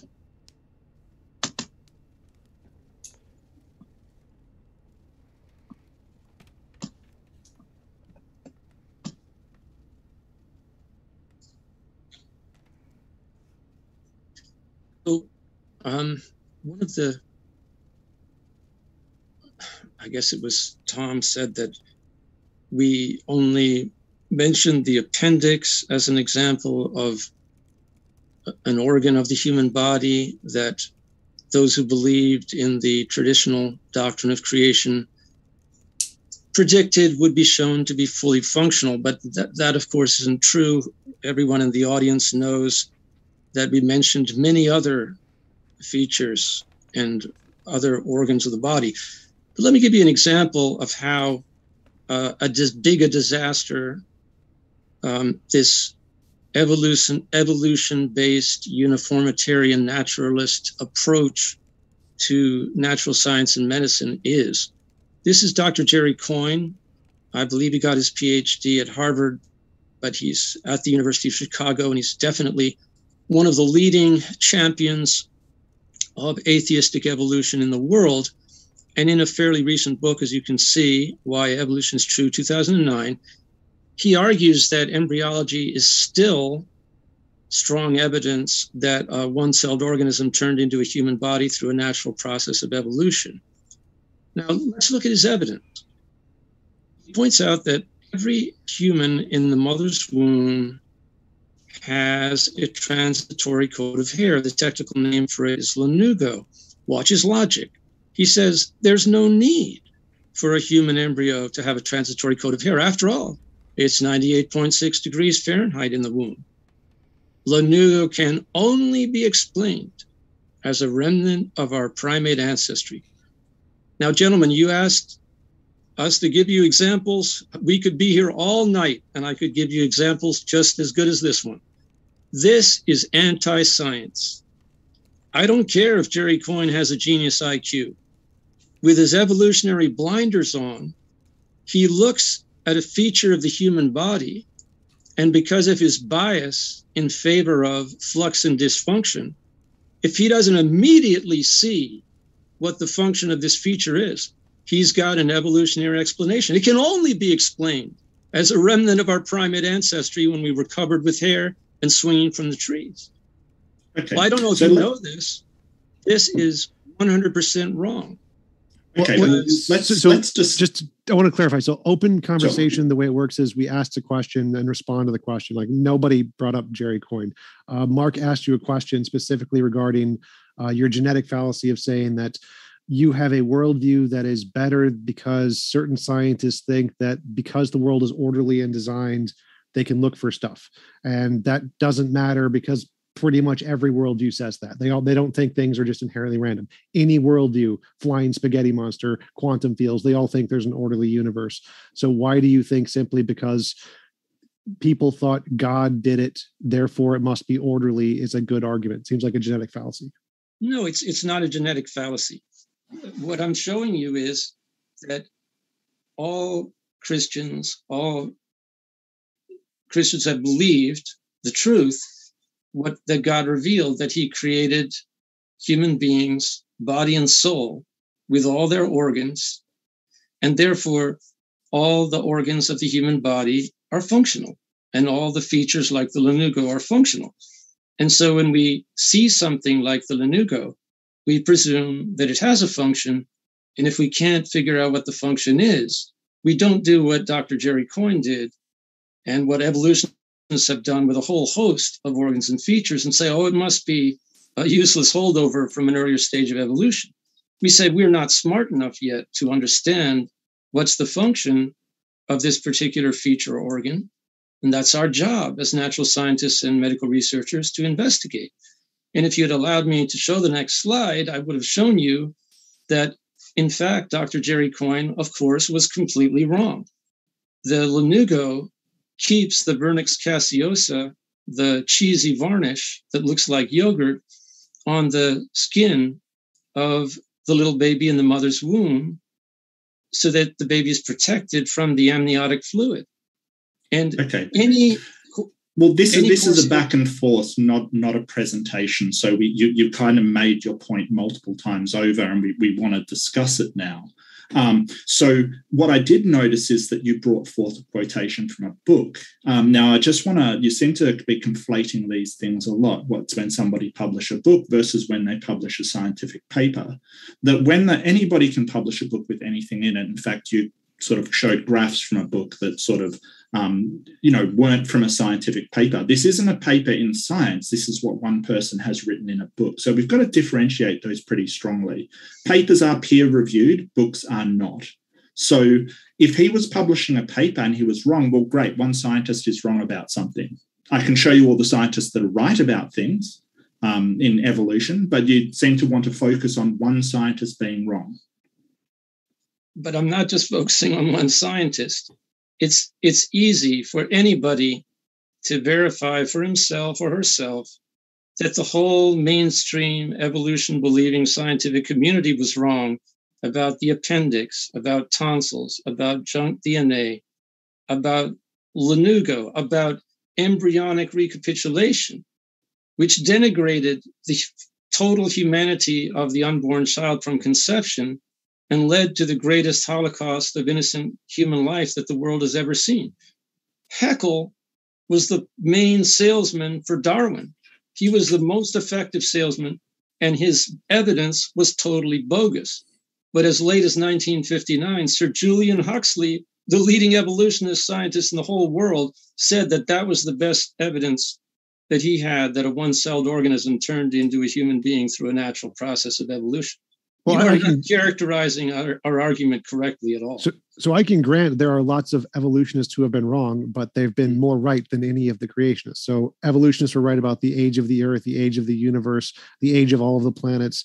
Uh, evolution was right about uh, how oil forms, about where we can find oil, about uh, different rock stratum where we'd find things in strata. They would predict things in the future. So yes, you can find hundreds and thousands of examples of scientists who have been wrong but as far as I know, pretty much all of the creationists are wrong and have never been right. On a few, maybe a few cases, appendix, okay, I'll grant that.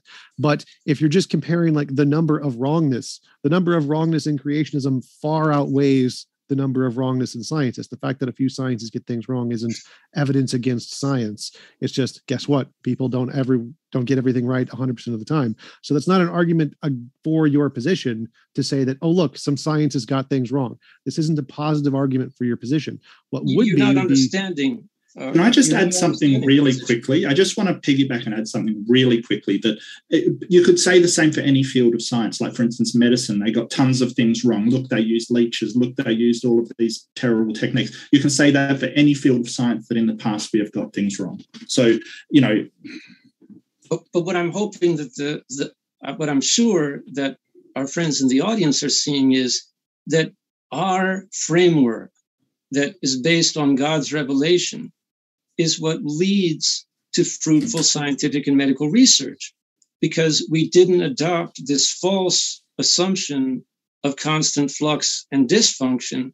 And that's what leads to the discovery of the proper function of all of these different kinds of organs and features. You, are you're, you're not understanding our position correctly. Why and is it your framework? Can you explain that to me? Why is it your framework all of a sudden? It's it's the framework that follows from what God revealed about how He created the world. He uh, how do you demonstrate that God revealed that?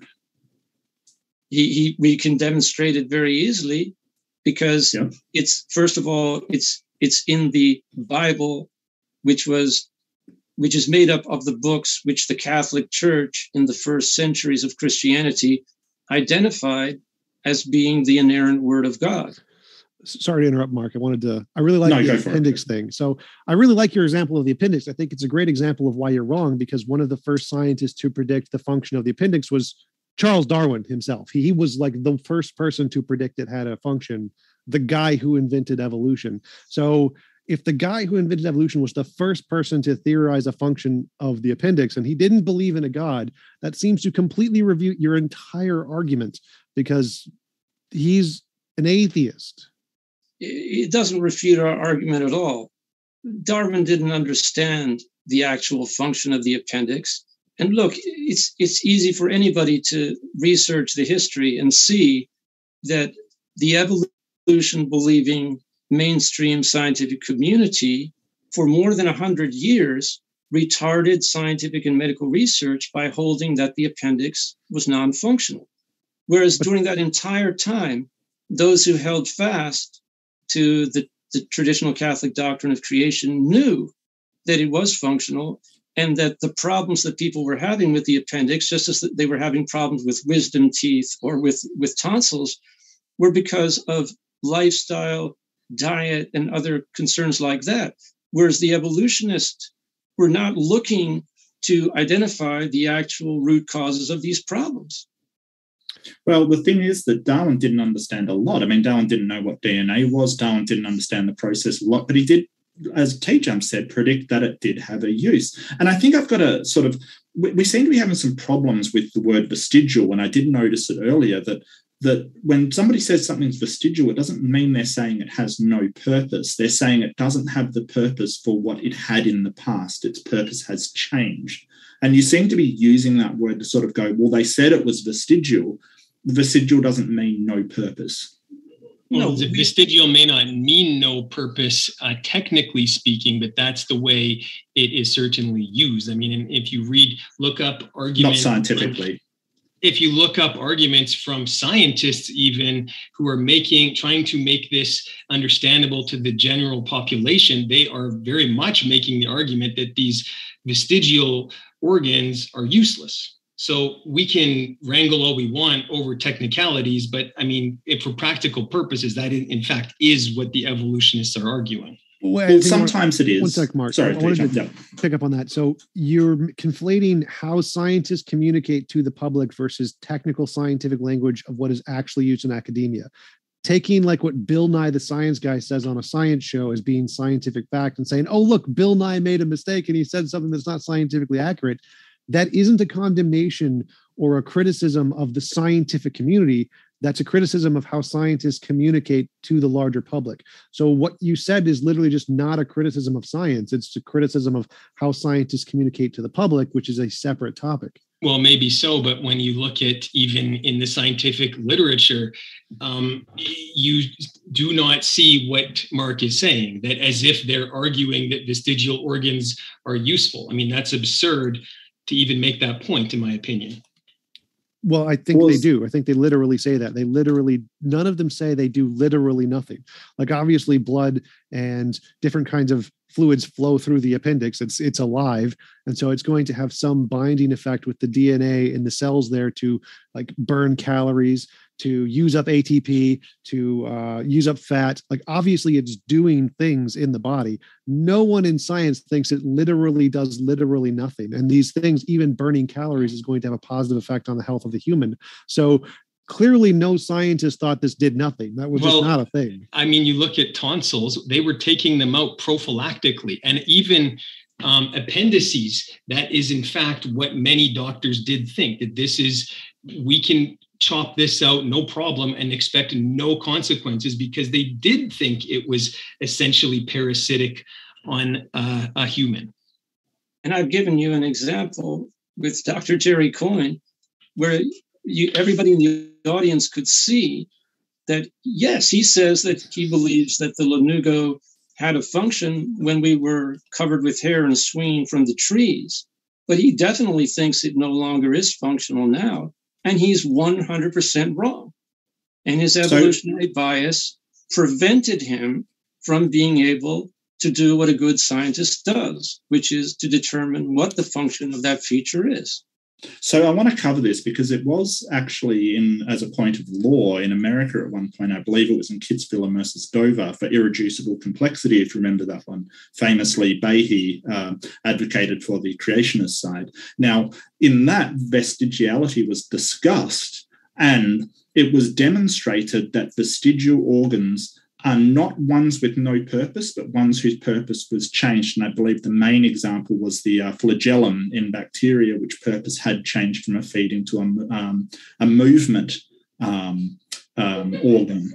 So also, you, you, are completely wrong. You are 100% wrong. It's even been litigated successfully. So also, Jerry Coyne isn't an embryologist. He he's a fruit fly expert. So I don't know why you're bringing him up as an expert to really know whether or not that would have a function. Like he's not an expert in that field. Well, we're bringing it up because, for all practical purposes, scientists and medical doctors are using this vestigial argument in order to retard science. Basically, well, they're, could they're, you give an example of an embryologist who actually works in the field of embryology who said this, rather than someone who works in a completely different, unrelated field who doesn't know anything about the topic?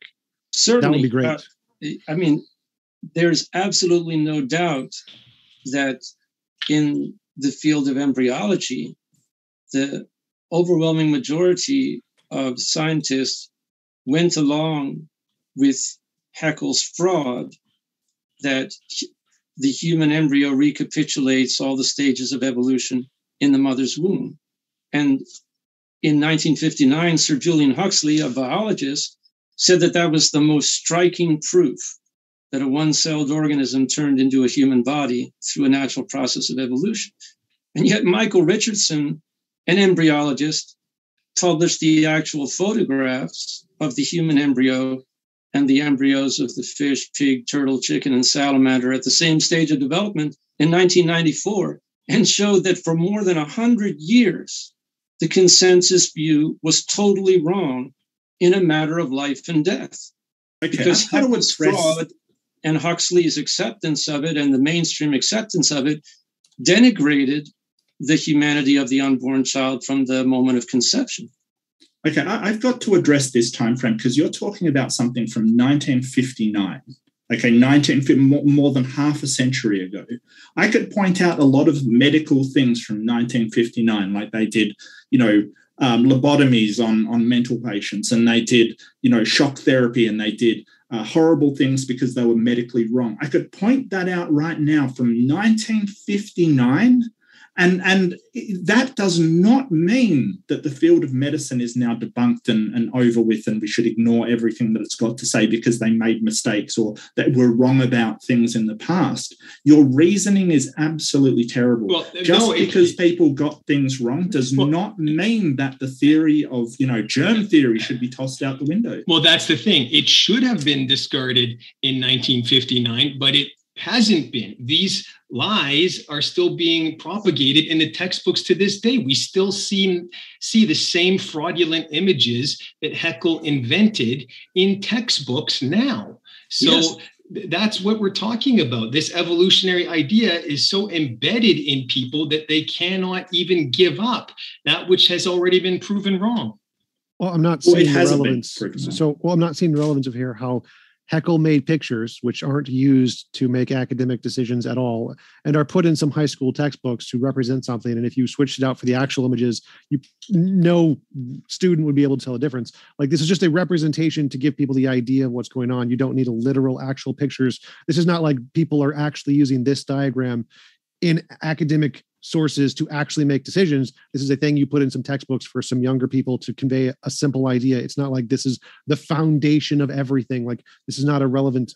Well, it's it like is, a picture. So it's like it is relevant because they're using it to things. propagandize young students. All of the people no, that end up scientists How? and doctors are going through this evolutionary propaganda. Why do you think they How? become evolutionists? Um, uh, how? Because again, No one is looking at these pictures and saying, oh my God, these pictures are just everything in my entire academic career. If you literally switched out these pictures for the other pictures, there would be literally no difference to anyone That's who's reading the book. simply not true. That is totally untrue. It makes a world of difference. Like what? If you if you look at the Michael Richardson photographs published in the journal Scientific American in 1994, it's obvious to anyone. I encourage the audience to look them up that the human embryo is very distinct from the embryos of all the other kinds of creatures at the same stage of development.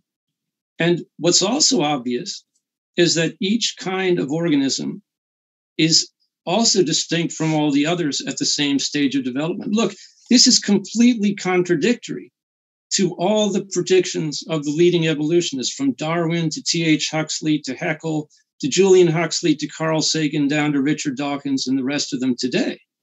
Don't try to make this out as some some something that's not consequential or that the mainstream scientific community didn't go along with something that was totally bogus and had life and death consequences. And we can show you 21st century textbooks that are perpetuating the fraud and not giving students the truth.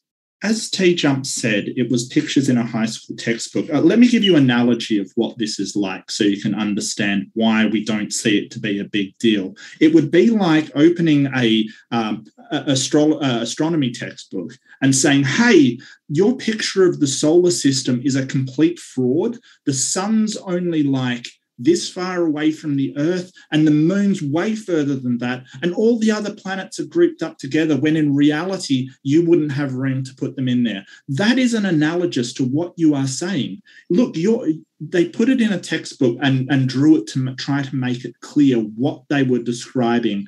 Not scientifically, but in an education way for people to understand just like they would the solar system. Nobody thinks that the sun's, you know, that distance away from, from Mercury or what have you. Nobody thinks that. It's just that's what we put in textbooks to explain what we know. And, and I think that's a good analogy. No, it's not a good analogy. I can show you Why? a textbook, a 21st century textbook, biology textbook, by, by a, a very prominent scientist here in the US who was a co-author.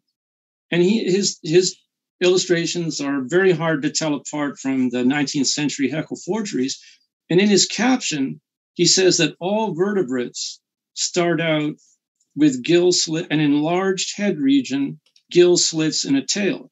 Now, don't tell me that that's just like the solar system, you know, making things a little bit different than they are in reality so that students can get kind of a rough idea of the relative position of things in the solar system. That is totally different are you arguing that they gill don't? slits have nothing to do with respiration.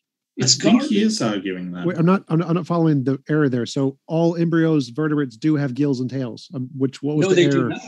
Absolutely not. What? Humans are vertebrates. We never yes. have gill slits. Yes, no do. anatomist or embryologist worth his salt yeah, um, that notion. Human embryos have have gill slits. I, no, I, I don't know what. No, they do not. What have a, called gill slits develop into the pharyngeal arches and different parts of our facial anatomy. They have nothing to do with respiration.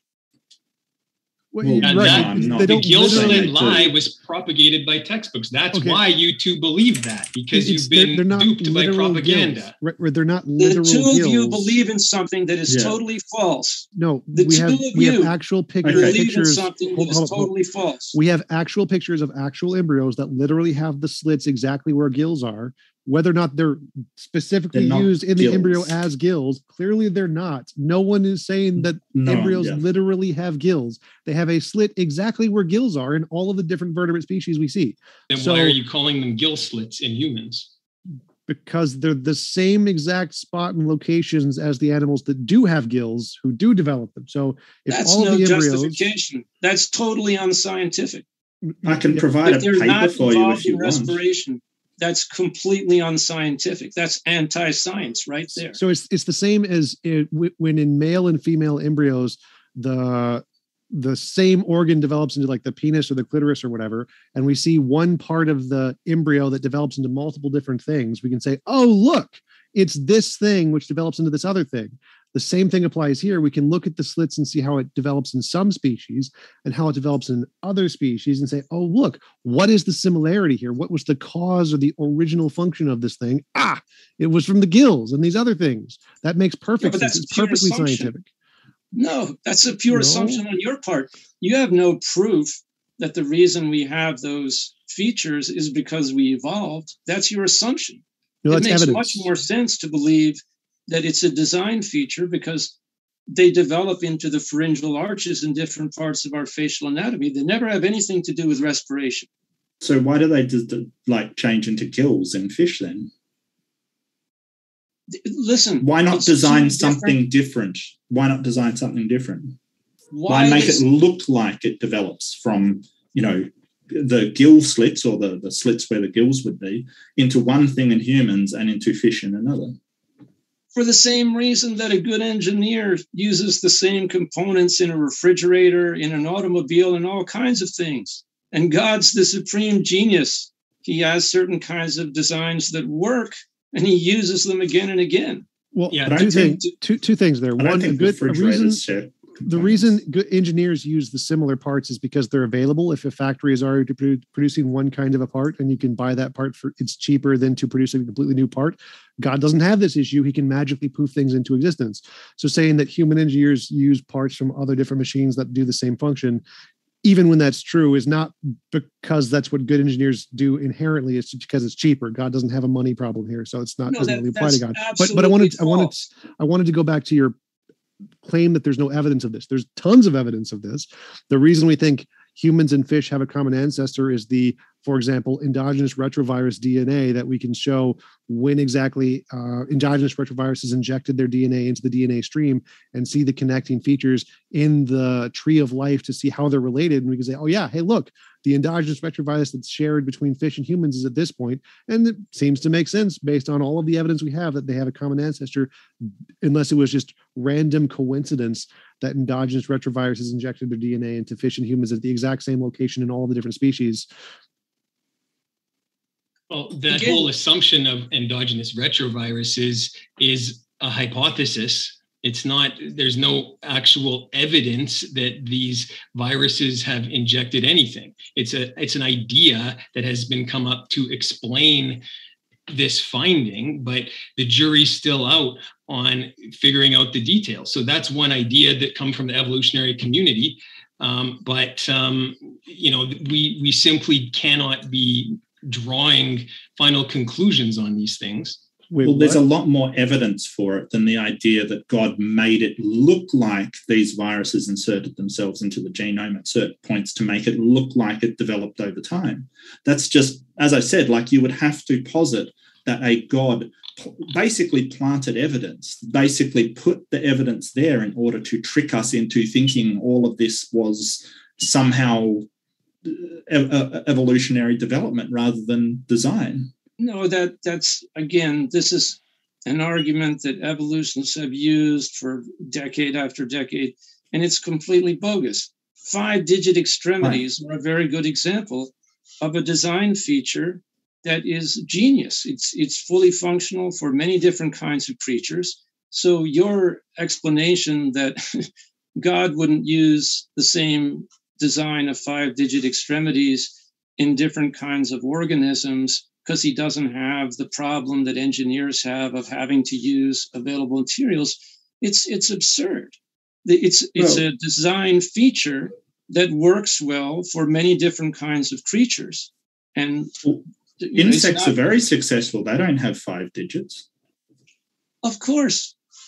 Part of but you see i hope if it's so successful why not? I hope that people in the audience can see that again and again, you're taking the position that you are in a position to pass judgment upon what you see in the biosphere and determine whether it was well designed or not. Just like Richard Dawkins foolishly asserts, maybe he's given up, that the eye is badly designed when experts in the eye have pointed out again and again that he's completely wrong and that if the eye were designed the way that he thinks it should be we would have all this blood supply getting in the way of our, our vision, and it would be a terrible design. So what what what we need is the humility to recognize that generation after generation of evolution believing scientists have asserted that the appendix, that the tonsils, that the lanugo, that the wisdom teeth, that the junk DNA didn't have a function here and now in the organism that possessed this particular feature. And they were wrong over and over and over again. While those who believed in God as the supreme being and the designer believed rightly that given enough research and careful investigation, the function and the purpose of these various features and organs would be discovered. Those so were the people. Yeah, I think you're mischaracterizing. I think you're mischaracterizing the argument here because we're not saying it is bad design. We're saying if it were designed, there would be lots of ways you could design it better. And to some degree, if it were designed, it would be bad designed. What we're saying, it is more probable that it developed by a natural process in a, in a sort of bottom up, systems connecting, systems working with one another, than it is for someone to take a top down, I'm going to design these things. Because if that were the case, there is a lot better ways to design it. And in some cases, vastly better ways to design it. So your mischaracterization of saying it is bad design, that is not our argument. Our argument is it's it's be, it's easier and much much more likely that these systems developed over time than through design. But look at the example of the tonsils, and it refutes what you're saying, because by saying that the tonsils were not fully a fully functional part of the immune system, there were already millions of tonsillectomies being performed here in the United States every year. And these were, in most cases, totally unnecessary and stripped away the front line of defense of the immune system of millions of people. Now, there have been 30 year long longitudinal studies proving that if you take two people with the same medical history one has the tonsillectomy, the other one doesn't. After 30 years, the ones that didn't have the tonsillectomy are much healthier than the ones that did. And we're talking hmm. about something that was a matter of life and death because during the polio epidemics, doctors observed that people who had had the tonsillectomy were much more likely to end up paralyzed from the polio virus than people who had retained their tonsils because the tonsils were producing specific antibodies against the polio virus. So we're talking about mistakes with life and death consequences on a vast scale where those who held to the traditional Catholic creation framework would never have allowed these terrible abominations to take place. However, you're forgetting that they still do perform tonsillectomies if the tonsils become infected to a great degree. Um, a large amount of infections, it may actually be advantageous to remove the tonsils rather than to risk continued infection over time. So you've just completely destroyed your own point because that operation is still performed where there is a large amount of infection going on in an individual. Well, yes, however, that, that's because there's a big difference between prophylactic operations versus operations that are necessary. That's if it was well, sorry, reason, go ahead. But, but that's the same reason why I, as a dentist, don't go in and look in someone's mouth and say, oh yeah, let's just haul out everybody's wisdom teeth just because it might cause a problem. No, we wait and we see, okay, is it gonna is it causing a problem? Is it an issue? If so, okay, let's deal with it. Um, that's not what was happening in the past. You had a large amount of doctors prophylactically removing tonsils in healthy children because they had been taught that these were vestigial organs. I wanted to, another. Very, sorry, TJump. You go for it.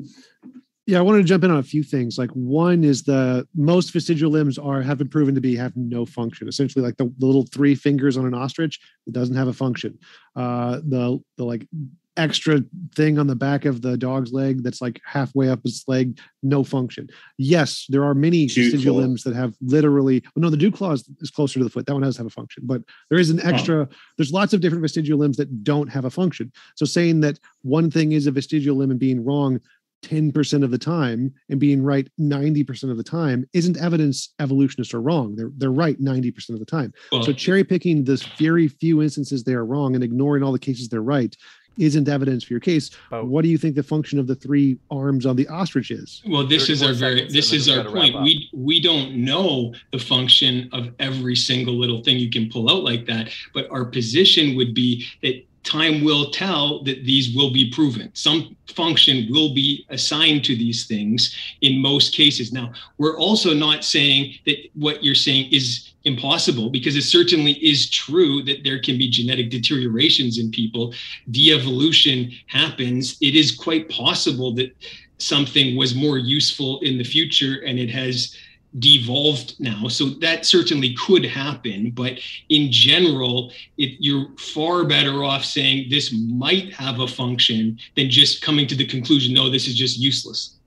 We, well, we when you say um, I, I do want to just oh, sorry, James. we do have limited time for the Q and A, and we've yeah, already sure, sure. guys about two hours. We want to jump into the Q and A, folks. Sorry, I want to let you know we're gonna get through as many questions as we possibly can, and then we're gonna wrap up just because we want to get our guests out of here by a decent time, especially if anybody's on the East Coast. So these questions coming in, every speaker has one minute at most to respond to them. There's no additional context to these questions, so sometimes it's easy to understand. Sometimes you might be wanting more, and this is all I have. Sunflower first says, concluding we were created by an intelligent source is as much of an assumption as assuming we weren't created by an intelligent source.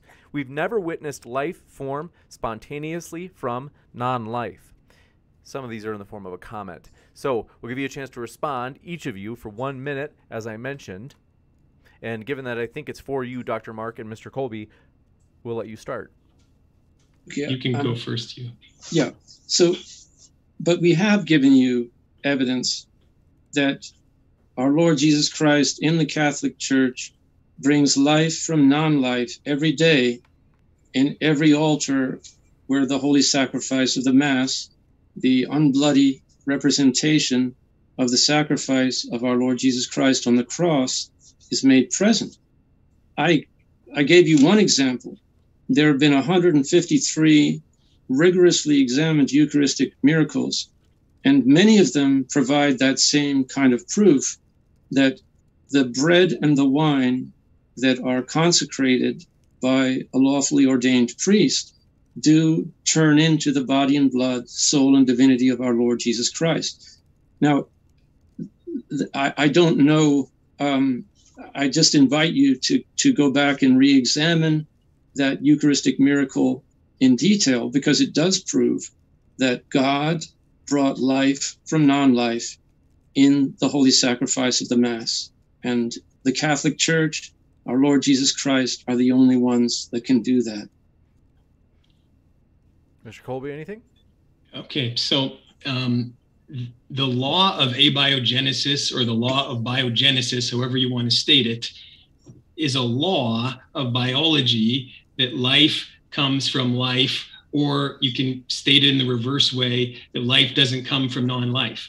And so, this idea that you could have um, things, some inorganic chemicals that could somehow spontaneously assemble themselves into something as complex as what we see in the so called simplest organisms is insane. I mean, I don't care if you give this a trillion years. You are never going to get spontaneous self-assembly of something into as something as simple as a bacteria. Um, so yeah, that idea, um, non-life from life, um, or sorry, life from non-life, uh, only uh, could ever make sense in terms of someone who is all powerful doing it. You got it, Anne. Over to TJump or Mark. Yeah, I just want to sort of the law of biogenesis. You, you've got a bit of a problem there because if life comes only comes from life, then that would make God is alive. But then the law of biogenesis would apply again, and life only comes from life. So what life did God come from?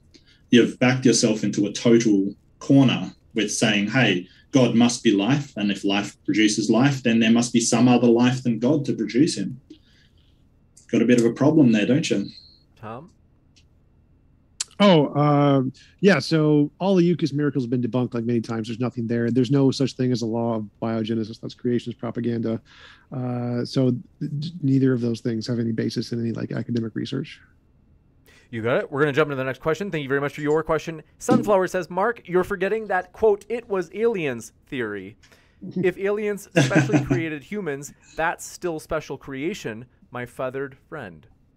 Yeah, uh, very feathery. Um, yeah, no, thanks, Sunflower. No, I, I do have a sort of a false dichotomy that I refer to that people say, hey, if if evolution is false, then it must have been God that created humans. Or if abiogenesis is false, then it must have been God that created humans. I use it as that's a false dichotomy because if I can provide just one other example of something else, then it's not a true dichotomy at all.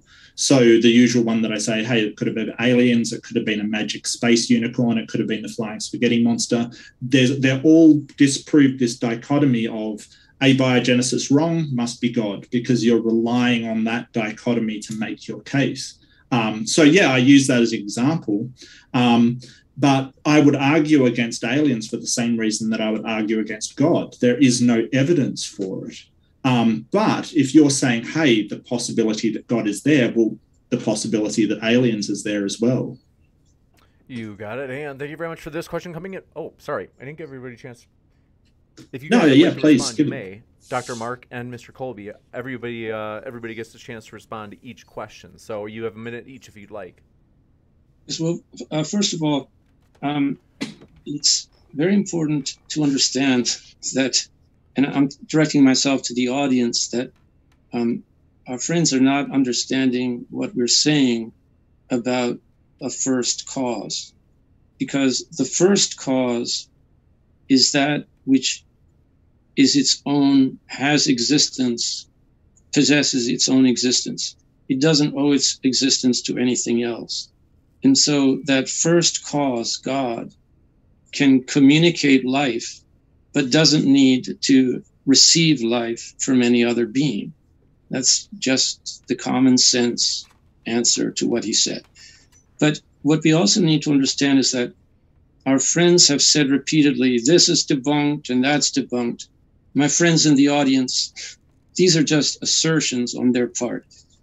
Make your own investigation of the Holy Shroud of Turin. And if you're making an objective examination of all the evidence, uh, you will conclude that it is proof that Jesus rose from the dead. Mr. Kolbe?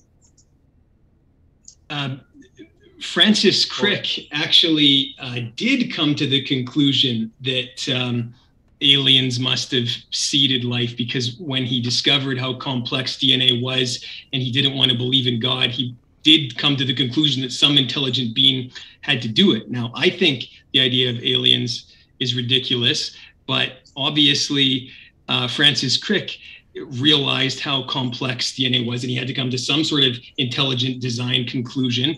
So it um, that would be one more step in the right direction, at least compared to believing in uh, spontaneous self-assembly.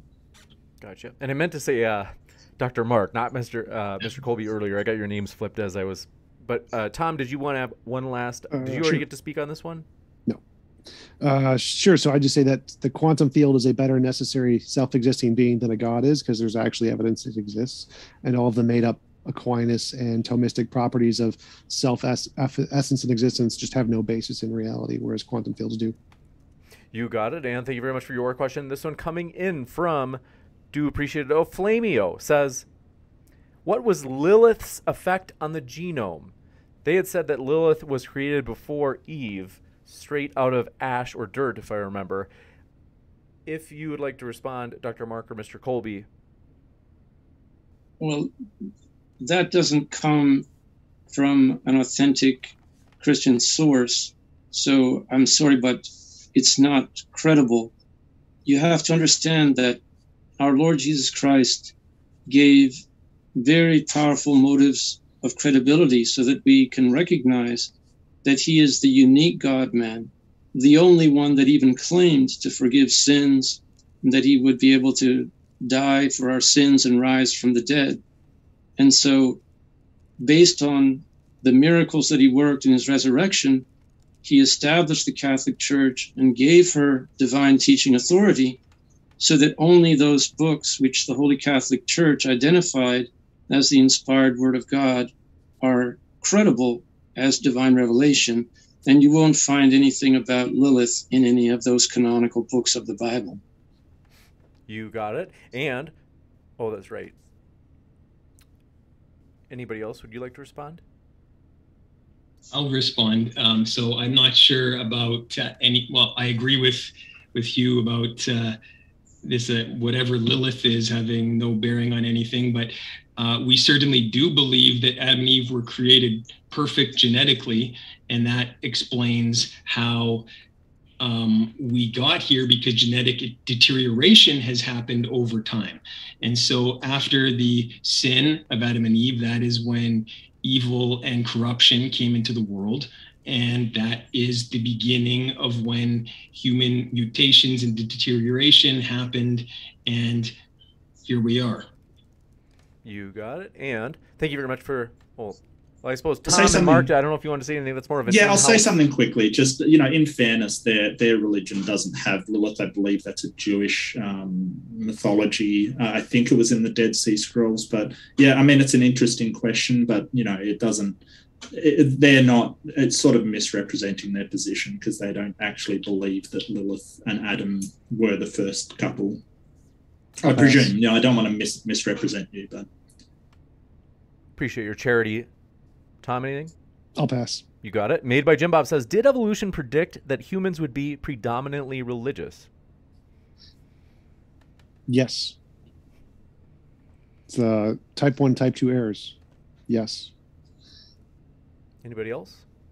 Well, I don't know if uh, you know. We, we certainly seem. Um, I believe somebody once said we had a, a, sort of a religious hole in in our, our sort of minds where we tend to put gods. I think that sort of talking about evolutionary structures, you can sort of trace the evolution of religion from sort of primitive animism to shamanism to you know panthe- uh, uh, you know pantheons and then to, to monotheism. It's, it's quite interesting to see the development of it.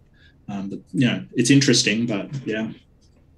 It's actually the exact opposite because in as a result of the general belief in microbe to man evolution, this went hand in hand with the idea that religion began with polytheism and animism and evolved into monotheism. But the greatest scholars who looked into this subject, like the great scholar Father Schmidt, totally debunked this. And even evolutionist scholars who've delved into this subject admit now that the original religion of virtually every people group on earth was monotheism. And we've spent much time in Africa. And if you actually spend time and listen to the various uh, people from the various tribes, they will tell you that the original religion was monotheism. And monotheism degenerated into polytheism and animism, which is exactly what you would expect from the Bible. But it's also what missionaries, anthropologists, and explorers found as they interacted with indigenous people all over the earth. Got it. Any last thoughts from anyone? Um, I think um, evolution actually does have a hard time explaining any type of spiritual longing in man, as it has a hard time explaining um, any of these qualities in life, like beauty, music, love, all of these aspects of life that how how why would we have this if we were basically um, machines that have just sort of arisen with self-preservation in mind? Now of course the evolutionists give this spin that yeah it's because of um, trying to keep others alive or whatever. But if you think deeply about this, you will see that the evolutionary idea, especially the atheistic evolutionary idea, doesn't seem to hold water when it comes to these um, deep questions. This one coming in from Oflamio says, What is the difference between a scientific paper and a non scientific paper? One's published in a peer-reviewed academic journal that's vetted by people who are experts in the field and know what they're talking about to know that it's actually valid source of data and one isn't Anybody else? I'll give the same response. Yeah. Okay, I'd like to respond to that because here's something for people in the audience to consider. Here's some scientific research that is published not in a peer reviewed journal. And now the same research is published in a peer reviewed journal, but it's the same. Now, is it more true because it's in a peer reviewed journal than when it's published independently? This is relevant because one of our main research projects within the Kolbe Center has been to collect dinosaur bones and to send them to world class labs that have an accelerated mass spectrometer that can count the number of carbon 14 and carbon 12 atoms in the sample. And we have shown, we have proven beyond any doubt that all the dinosaur bones contain substantial amounts of carbon 14, which cannot be reasonably attributed to contamination, which proves that the dinosaurs lived thousands of years ago, did not become extinct 65 million years ago. Now, here's the interesting thing we have papers on our website that contain the data that were not published in peer reviewed journals. But we have presented the data in world class scientific conferences where they were subjected to peer review before they were allowed to be presented. And you know what we found?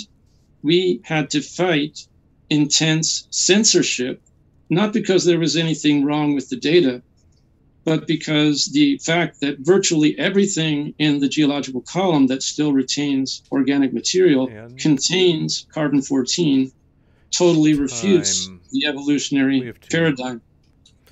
Anybody Um, else? Yeah, I'll just say, um, I mean, I agree with Hugh, and that um, yes, it's true. Oftentimes, something being peer reviewed um, can be beneficial, at least in theory. However, it also uh, leaves open um, the concept of the tyranny of the majority. If the majority of people peer reviewing have a bone to pick with some aspect of this, whether it be um, a metaphysical implication or any other thing, maybe they just don't like the guy, it won't get published. And so, um, again, you can have perfectly valid scientific papers that have been thrown in the garbage uh, because of this. So we can't conflate being scientific with being peer reviewed, even though it does certainly have its place. I think peer reviewed is blind your name isn't on it they don't they don't know who published it Uh, well, let's these see, we got scientific circles are smaller than you think, though. This one's Yeah, from, peer review I doesn't hate to do to it, truth, but just it just because everybody's already spoken for their minute, I hate to do it, but just Yeah, because otherwise I'm going to get grilled by people for not getting to their questions. Bubblegum Gun says, or in this case, a statement. He uh, he's coming after you, Tom and Mark. He says vestigial organs is the atheist retrofitting of the data. no it's not it's using other evidence of other vestigial limbs which have been accurately identified as vestigial limbs and oh this is kind of similar to these things can we be wrong? Sure. Is the fact that some people in evolution are wrong about some things evidence against evolution? No because creationists are wrong more than evolutionists about most things. Anybody else? Yeah, and vestigial organs, as I pointed out earlier, they have gone to court about, you know, what can constitute a vestigial organ, irreducible complexity. Kitzmiller look versus Dover, look it up. Um, yeah, and and and I, I I mean, you can make that statement. It's got no basis in science whatsoever. Um, uh, just because some people use vestigial wrong um, in colloquial terms doesn't invalidate science at all any more than you know a person using something wrong in biology invalidates medicine. Um, yeah, it's just a nonsense statement.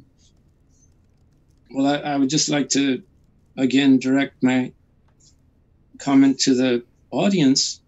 I mean, just think about it.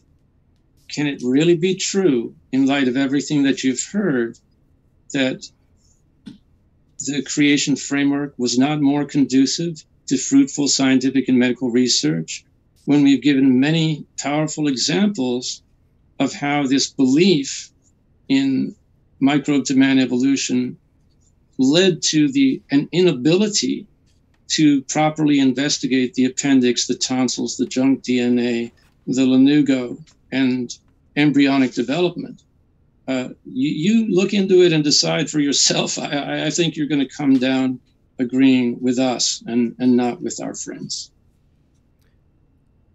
Uh, and I'll, I'll, just say, um, yeah, I think people should look more into this topic of vestigial organs because this was really hammered home by the evolutionists that there were all these vestigial things, and it's just coming to light more and more and more that these are debunked. So, yeah, I think people should research this topic more themselves. I think that's it for our Q&A. I want to remind you folks our guests are linked in the description. You can learn more about their views by clicking on those links below, and that includes if you're listening via the Modern Day Debate podcast as each of these debates, such as this one, is uploaded within 24 hours to the Modern Day Debate podcast, available on fine podcast apps everywhere. So I want to say thank you very much Tom, Mark, Dr. Mark, and Mr. Kolbe. It's been a true pleasure to have you guys on tonight.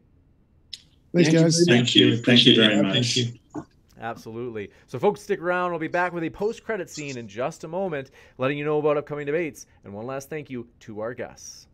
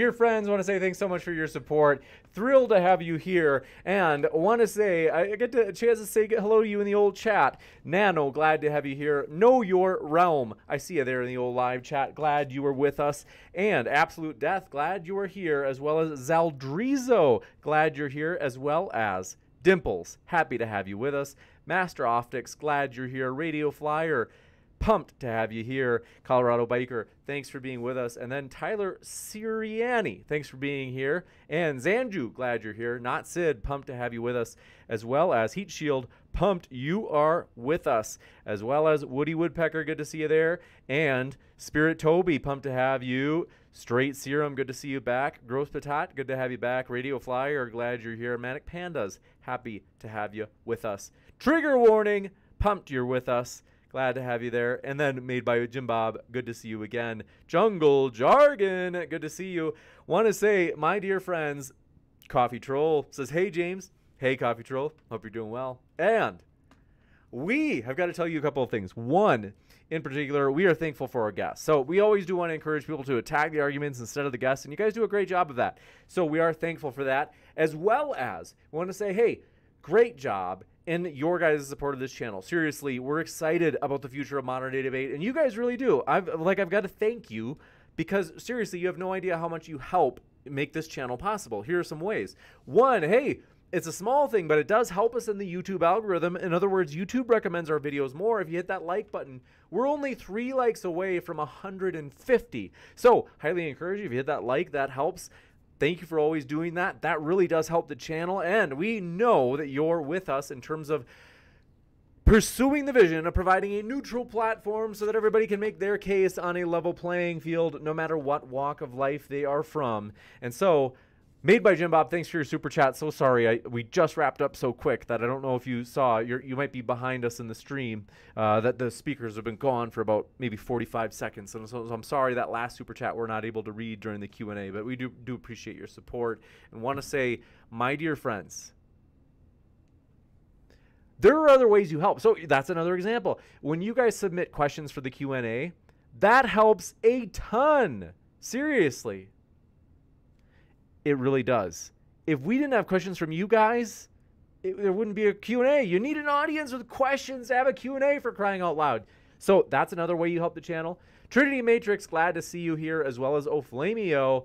And Dimple says, Thanks for the chat. It's nice to hear from other perspectives. Thanks, Dimples. And I love that this chat is an eclectic mix of different people from different walks of life. We have Christian people here, Muslim people here, Black Hebrew Israelite, atheist, agnostic, you name it, whatever you want to call yourself we know that you're here and we appreciate you guys being here. As this is it's no doubt about it and i appreciate somebody just said that in a different chat. They said hey i like that modern day debate is not an echo chamber. It's got like a mix of different ideas and so hey it's absolutely i think it really does and we appreciate you guys being here being a part of that eclectic mix as you bring different views and ideas we appreciate that and Spirit Toby says, I'm so glad James does an excellent job of taking care of all of his guests. More discussion. Thank you for that, Spirit Toby. And we're looking for ways that we can take care of our guests. What we do is first, we always link our guests. Debate channels that don't link their guests, I think, honestly, I just, I don't really respect that. And here's the reason they the guests are coming on and it helps produce the content obviously because if you don't have debaters you don't have a debate and and so when i see some channels that are like we're, we're not going to link them though i'm like okay well whatever YouTube deserves a better class of debate channel, and we're going to give it to them. Here's another way in which we try to help our guests. We always try to give them a MP4 copy of the debate. Sometimes they have to remind me because sometimes I forget, but it's something that we are happy to send. If they send me a reminder, I'm always happy to send them an MP4 copy of the debate so they can upload it on their own channel. It's their content, right? It is. They're the debaters. And the one good reason, glad to see you there in the old chat, as well as Master Optics and Renee Hamilton. Glad to have you with us. Manic Panda says, Hey, James, glad to see you. As well as Mango T, thanks for your super chat. Says, Am I debating apostate prophet on Thursday? What? Well, that's something I've got to confirm with him yet. So let me, I, I can't remember if you responded to my email. So let me first ask him. It might be further out, Mango T. Bear with me. And I'll, I'll get back to you on that. But yes, it looks like he's plausibly interested in a debate with you on whether or not Islam is the one true religion. So that should be a juicy, controversial debate. Radio Flyer, glad to have you here uh, says legit good channel. Thanks for that, Radio Flyer. Seriously, we really appreciate it. I always want you guys to know too. We are open to feedback. So for real, feel free in the chat or email me. You guys, you know I'm at moderndaydebate at gmail.com. So it's our name, the name of the channel, at Gmail. That's a pretty easy email. Remember, if you want to give me feedback, you can. And I'm open minded, for real. I will admit there are ways that we can improve this channel. And so that's something I want you to feel comfortable being able to do that uh, as if you're kind of like, yeah, sometimes I think the chat is a little bit too restrictive. You know, sometimes we can't insult the speakers, and you know, you know, and I get that. There's a difference between harassing a speaker, like you're you're trying to make them feel bad, versus like friendly teasing. Like if you say like James is a beta, or a soy boy. Like I'm not bothered by that, and I know that you're not ill intentioned. And likewise, if you guys call the like speakers like a soy boy, uh, Brenton, just kidding, but seriously, okay. So I love Brenton. I'm teasing, but we really do. He, he's a friend of the channel. Brenton has helped us a ton. So. and he said he always tells me he says James I don't eat soy protein I he appreciates pea like the vegetable peas he he has pea protein but want to say, let me tell you this. This channel, we are thankful for your support. You guys have made it awesome. A number of ways that help us, and that you guys, uh, because I can see in the Creator Studio, like in the YouTube, a lot of you guys, uh, well, some of you know, because some of you guys do your own channel.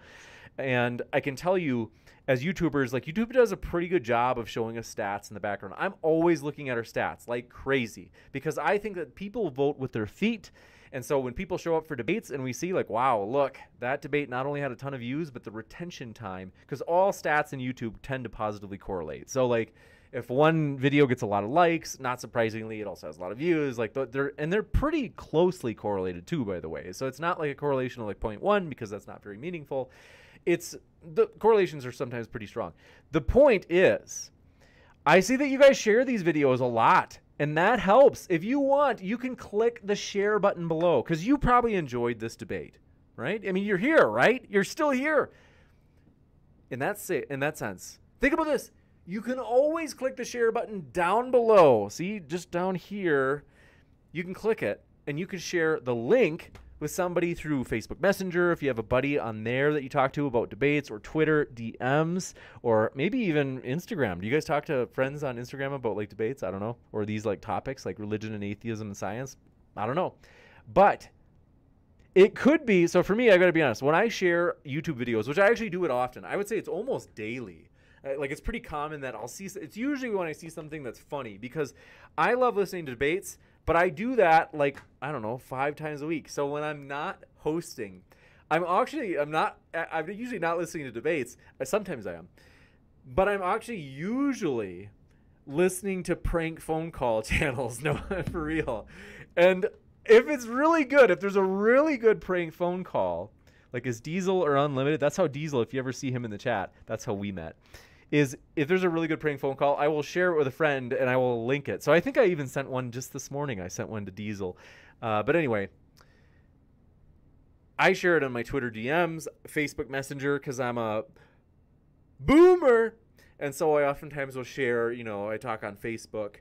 And I know the Zoomers, the young folk, I don't know what you, you guys use TikTok. Does TikTok have DMs? I think it does. But wherever you want to share footage of debates or I should say videos, you can, and that helps us because good old fashioned word of mouth. I'm serious, you guys. You guys have heard this a billion times. You're like, please, James, no. Good old fashioned word of mouth is seriously a big deal, because if I go on Twitter and I say, hey, you guys, this debate is awesome, and I'm using like the Twitter, uh, let's say I'm the modern day debate Twitter account because that's all I have, and I say, oh yeah, like Oh, turn you away, go to his pleasure. Does TJump message me? My brother. Oh. But it's like basically, I'll respond later. The point is this. I think I was saying this. Okay, I forgot. I think it was something about sharing, and I said, yeah, like, oh, yeah, yeah. Is that I've told you this a thousand times. If I share on Twitter with the Modern Day Debate Twitter account, I say, hey, this debate is awesome. You got to check it out. People will be like, mm, yeah, it's a modern day debate. You know, it's like you're self promoting. This is sad. But if you share a debate and you say, hey, you know, it's like really, you know, hi, Barbara. Hi, Alan. I loved this debate. That is third party credibility. Like you're kind of a non biased, like I'm, I, I'm admittedly biased. I promote modern day debate all the time, like in our tweets or whatever it is. And thank you very much for, let's see, I just like reading your chats. Clinton Rosh says, I only come here for the beard and hearing my last name butchered by a smarty pants. I'm good. It's in good fun, James. Peace be with you. Thank you, Clinton. And yeah, want to say though, it is totally cool. Jeremy, Jeremy Nolan, good to see you there, as well as Zeldrizo says, Modern Day Debate and James are amazing. We all agree. Well, everyone but Darth Karen. Thank you for your support. Seriously. That's right. Darth won't come back. I can't help it. We'll get him back. I'll get Converse to host it, and then he'll come back, I think. But want to say thank you guys for your support. Seriously, Dave Hill, good to see you there in the old live chat. Heat Shield, long time friend of the channel, and that's the thing too. You know, like you guys, I do appreciate you guys have been so supportive of me personally. You guys know that I've gone through, uh, you know, a lot lately. I don't want to get into it, but I just want to say thank you guys. I don't want to I don't want to sound so dismissive of it. It's just that it's a heavy topic, so I don't. Um, but long story short, I want to so it's like hard. But i want to say thank you guys for your support of me personally. Thank you for the support of the channel. Thank you guys for your support of the moderators that have stepped in when i was unable to host. So when i'm in my hometown it's always been the case and it also was the case this spring that it's difficult for me to host because there's not a lot of internet connection in my hometown that i can find where i can host. And so i'm grateful that the guest mods had done a fantastic job. People like kaz converse contender carissa amy trying to think, is there anybody else I'm forgetting? We might have Rose Wrist as a host sometimes. For real. You know, do you know Rose Wrist? But thank you for your support. Renee Hamilton says these, deba- these debates are dripping with juice. They are juicy to say the least. You guys, I it's honestly so fun to do this. And yes, I do love juicy. Brooke Sparrow says, I appreciate that's 100%. That's right. We've got these emojis. And I know that I think what we're going to do as I, am going to let you guys know this because I think some people were turned off and I didn't mean to. It, I turned on the members only chat today. And some people I think were turned off. Um, I think most weren't, to be honest. I think most people are like, nah, it's a few minutes. They do it like every other month or something. Nah. And a lot of you guys, the reason is like for real, a lot of people don't know that we do have memberships. We do, and and now if you were here in today's chat, you for sure know. But the reason that I say that is not all channels do. For real. Like a channel has to turn on the memberships in order to have them so we had already we had 50,000 subscribers before we ever turned it on. And we could have turned it on way before that. I think it's at like 10,000 i can't remember. But anyway I don't think we're going to do that as a perk anymore because I don't want it to. Because some people, like I said, are turned off by that, and I I know most people are not turned off by that, and I appreciate that. Like I said, it's only a few minutes every few months or something. We haven't done it for like six months, but it is something that we want you to know. We do have channel memberships, something to consider. And also, I'm amazed that a lot of times when I put these polls up, when I ask, did you know if we had a podcast? Modern Day Debate is not just a YouTube channel, it's a podcast. And I think every time the plurality, namely the largest group, so it's not necessarily a majority, but it's, you know, sometimes it's like 37%, but it's the biggest group has not heard about the Modern Day Debate podcast, and so that's something I wanna I wanna plug as well. And uh, I have to let you know it's on fine podcast apps everywhere, iTunes, Apple Podcasts. What's that green one? Spotify, Podcast Addict, Google Podcasts, everything. We really are on every podcast. I've worked really hard. We're, we're still getting on Podbod. That's one that I still have not gotten on but it's only got like two people uh, that use that app. So, but Mrs. New 86, thanks for being with us. And then let's see. Dimples debating in the chat. I appreciate your gusto, Dimples. Brooke Sparrow says, please give a shout out to Let's Farm Cat Patches, who passed away today. I'm really sorry to hear that. Let's Farm. Seriously, that is a bummer. I know that is really painful as I've like uh, so I'm I'm sorry to hear that. Let's Farm, and we hope you're you're doing all right. We're glad that you were here. Let's Farm. We love you. You're a part of the family. Thanks for all you've done in Discord, and we just appreciate you. And I've just always been thankful for you. And uh, thanks for always dealing with me. Is sometimes I know that I'm like, I sometimes uh, I admit I get a little bit burnt out sometimes, and I'm probably sometimes I probably seem a little bit like irritable or something. And it's I run myself into the ground on accident. Because sometimes like i and i've been doing it the last couple of days i've just been going so just doing so much to where i'm like okay i this isn't even healthy. It's just that i'm always trying to be busy and like emailing i've been emailing so many new people. Today alone it was exhausting emailing so many people that we've never had on before big big name people. So for example like mark dice and who was the other one that Gad Saad we've so i've been reaching out those are just a couple examples of people we've been reaching out to uh, one we've uh, reached out to, and yeah, we who I won't mention because it will trigger so many people. But Dave Hill says digging the Zangief Junior look. By the way, thank you for that. I don't know who that is, but I appreciate that. And yes, I really do. I'm excited about this beard. I like it. It feels tremendous. It's like an uh, you know for for men, a beard is like an ornament of the face and you know, I don't say I don't recommend it to all men, but I recommend it to me. I like it, and want to say though, is there anything I'm forgetting that I usually talk about? In terms of the vision of the channel, you guys all know what this is. We are a nonpartisan channel. So, in other words, I never put out any videos because here's the thing there's like in terms of like the minimal level of neutrality when it comes to debates is you have a neutral moderator. You have to have that. Some channels don't even have that for crying out loud. But I'll admit a lot of channels actually have that. So for example, like I think Dylan Burns is a fair host or moderator. However, and I'm not knocking this because I know that most channels it's just not their style and that's fine. Like I I totally get it. Is that to be even more neutral in hosting debates like we don't even put out any content that's like just you know me james saying hey guys i really think this is the case and it's just going to be a video of me making my case. We don't even do that. It is fully neutral around here. And like i said i don't fault any channels for doing that. It's just not what we do.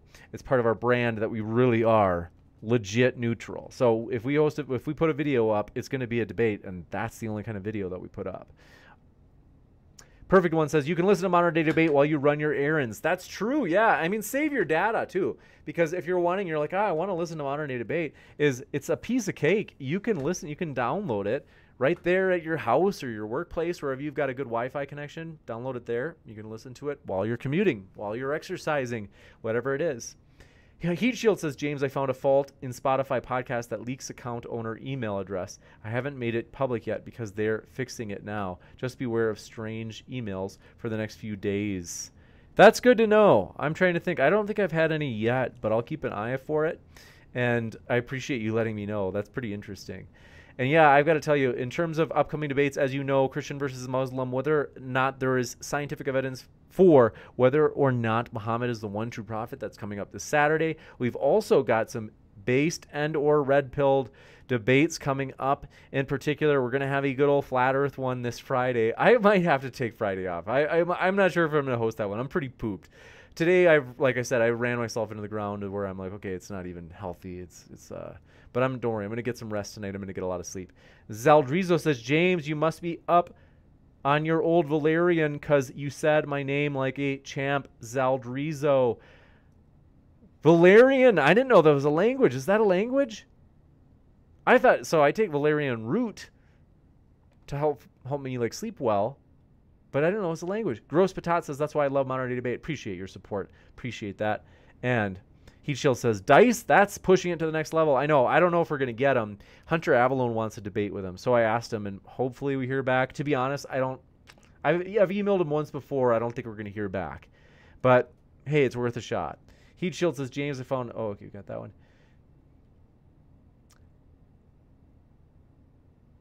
Dave Hill says it's Street Fighter. That much of a dated reference now? Oh man, yeah. I don't. I know a lot of Mortal Kombat, or not a lot. The new games, like I fell off. I fell off the wagon after Mortal Kombat 4, but I know a decent amount of Mortal Kombat, way more than Street Fighter.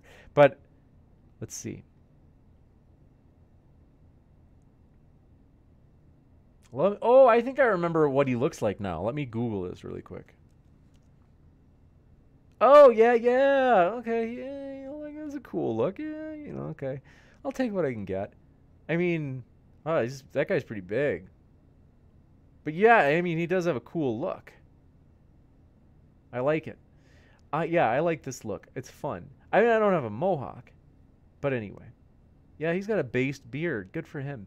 Now, want to say I love you guys. Thanks for your support. I should go because I I love doing this. I honestly would love to just stay and do this forever, but uh, I should go. I, I got to get some sleep and catch up on a lot of stuff. So, Andres Castano says, "Hey James, do you get paid for this, or is it a hobby? Thank you."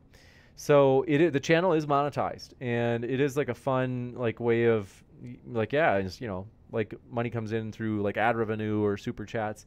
It's not to the point of where I could like live and you know do this full time. So I plan on finishing my PhD. I'm in my fourth year just finished my fourth year. Whoa. Um, is I'm finishing my fourth finished my fourth year in the PhD, and I've got a year or two left. And then I don't think it would be enough. Like I don't think the channel would be big enough to go full time with it. Uh, sometimes they say that like 70. Like I had heard one person. Well, one person I know went full time when they made 75,000 subscribers, but it all depends on a lot of different factors. So like uh, these things are correlated in terms of like how much revenue a channel has come in in their subscriber number, but at the same time they're not correlated like on a. It's not like a point a 1.0 correlation. It's so I it's, I think it's going to be a while before I would able to do be able to do this full time, but I would love to. Oh man, like I love modern debate. It's, it's so fun, and so my hope is to keep on growing modern day debate and then maybe in, at least like I don't think there's any chance I could go full time with it for at least another two years and then maybe in two between two and five years hopefully it'd be i'd love to go full time with it i don't like i said who knows the future but let's see hl aristoteles says be well all and that's a great way to end i want to say thank you guys for your support i love you guys Thanks for all of your help with the channel. Seriously, we're at 165 likes. Only five more will be at 170, so we can totally hit that goal. But want to say thanks, guys. I love you. I look forward to seeing you as we continue to passionately fulfill the vision of providing a neutral platform so that everybody can make their case on a level playing field. That's important to us, and that's what we're doing here. So, thank you guys for your support. It really does mean a lot. And so, hope you guys have a great rest of your night. Keep sifting out the reasonable from the, the unreasonable, and I'll see you next time.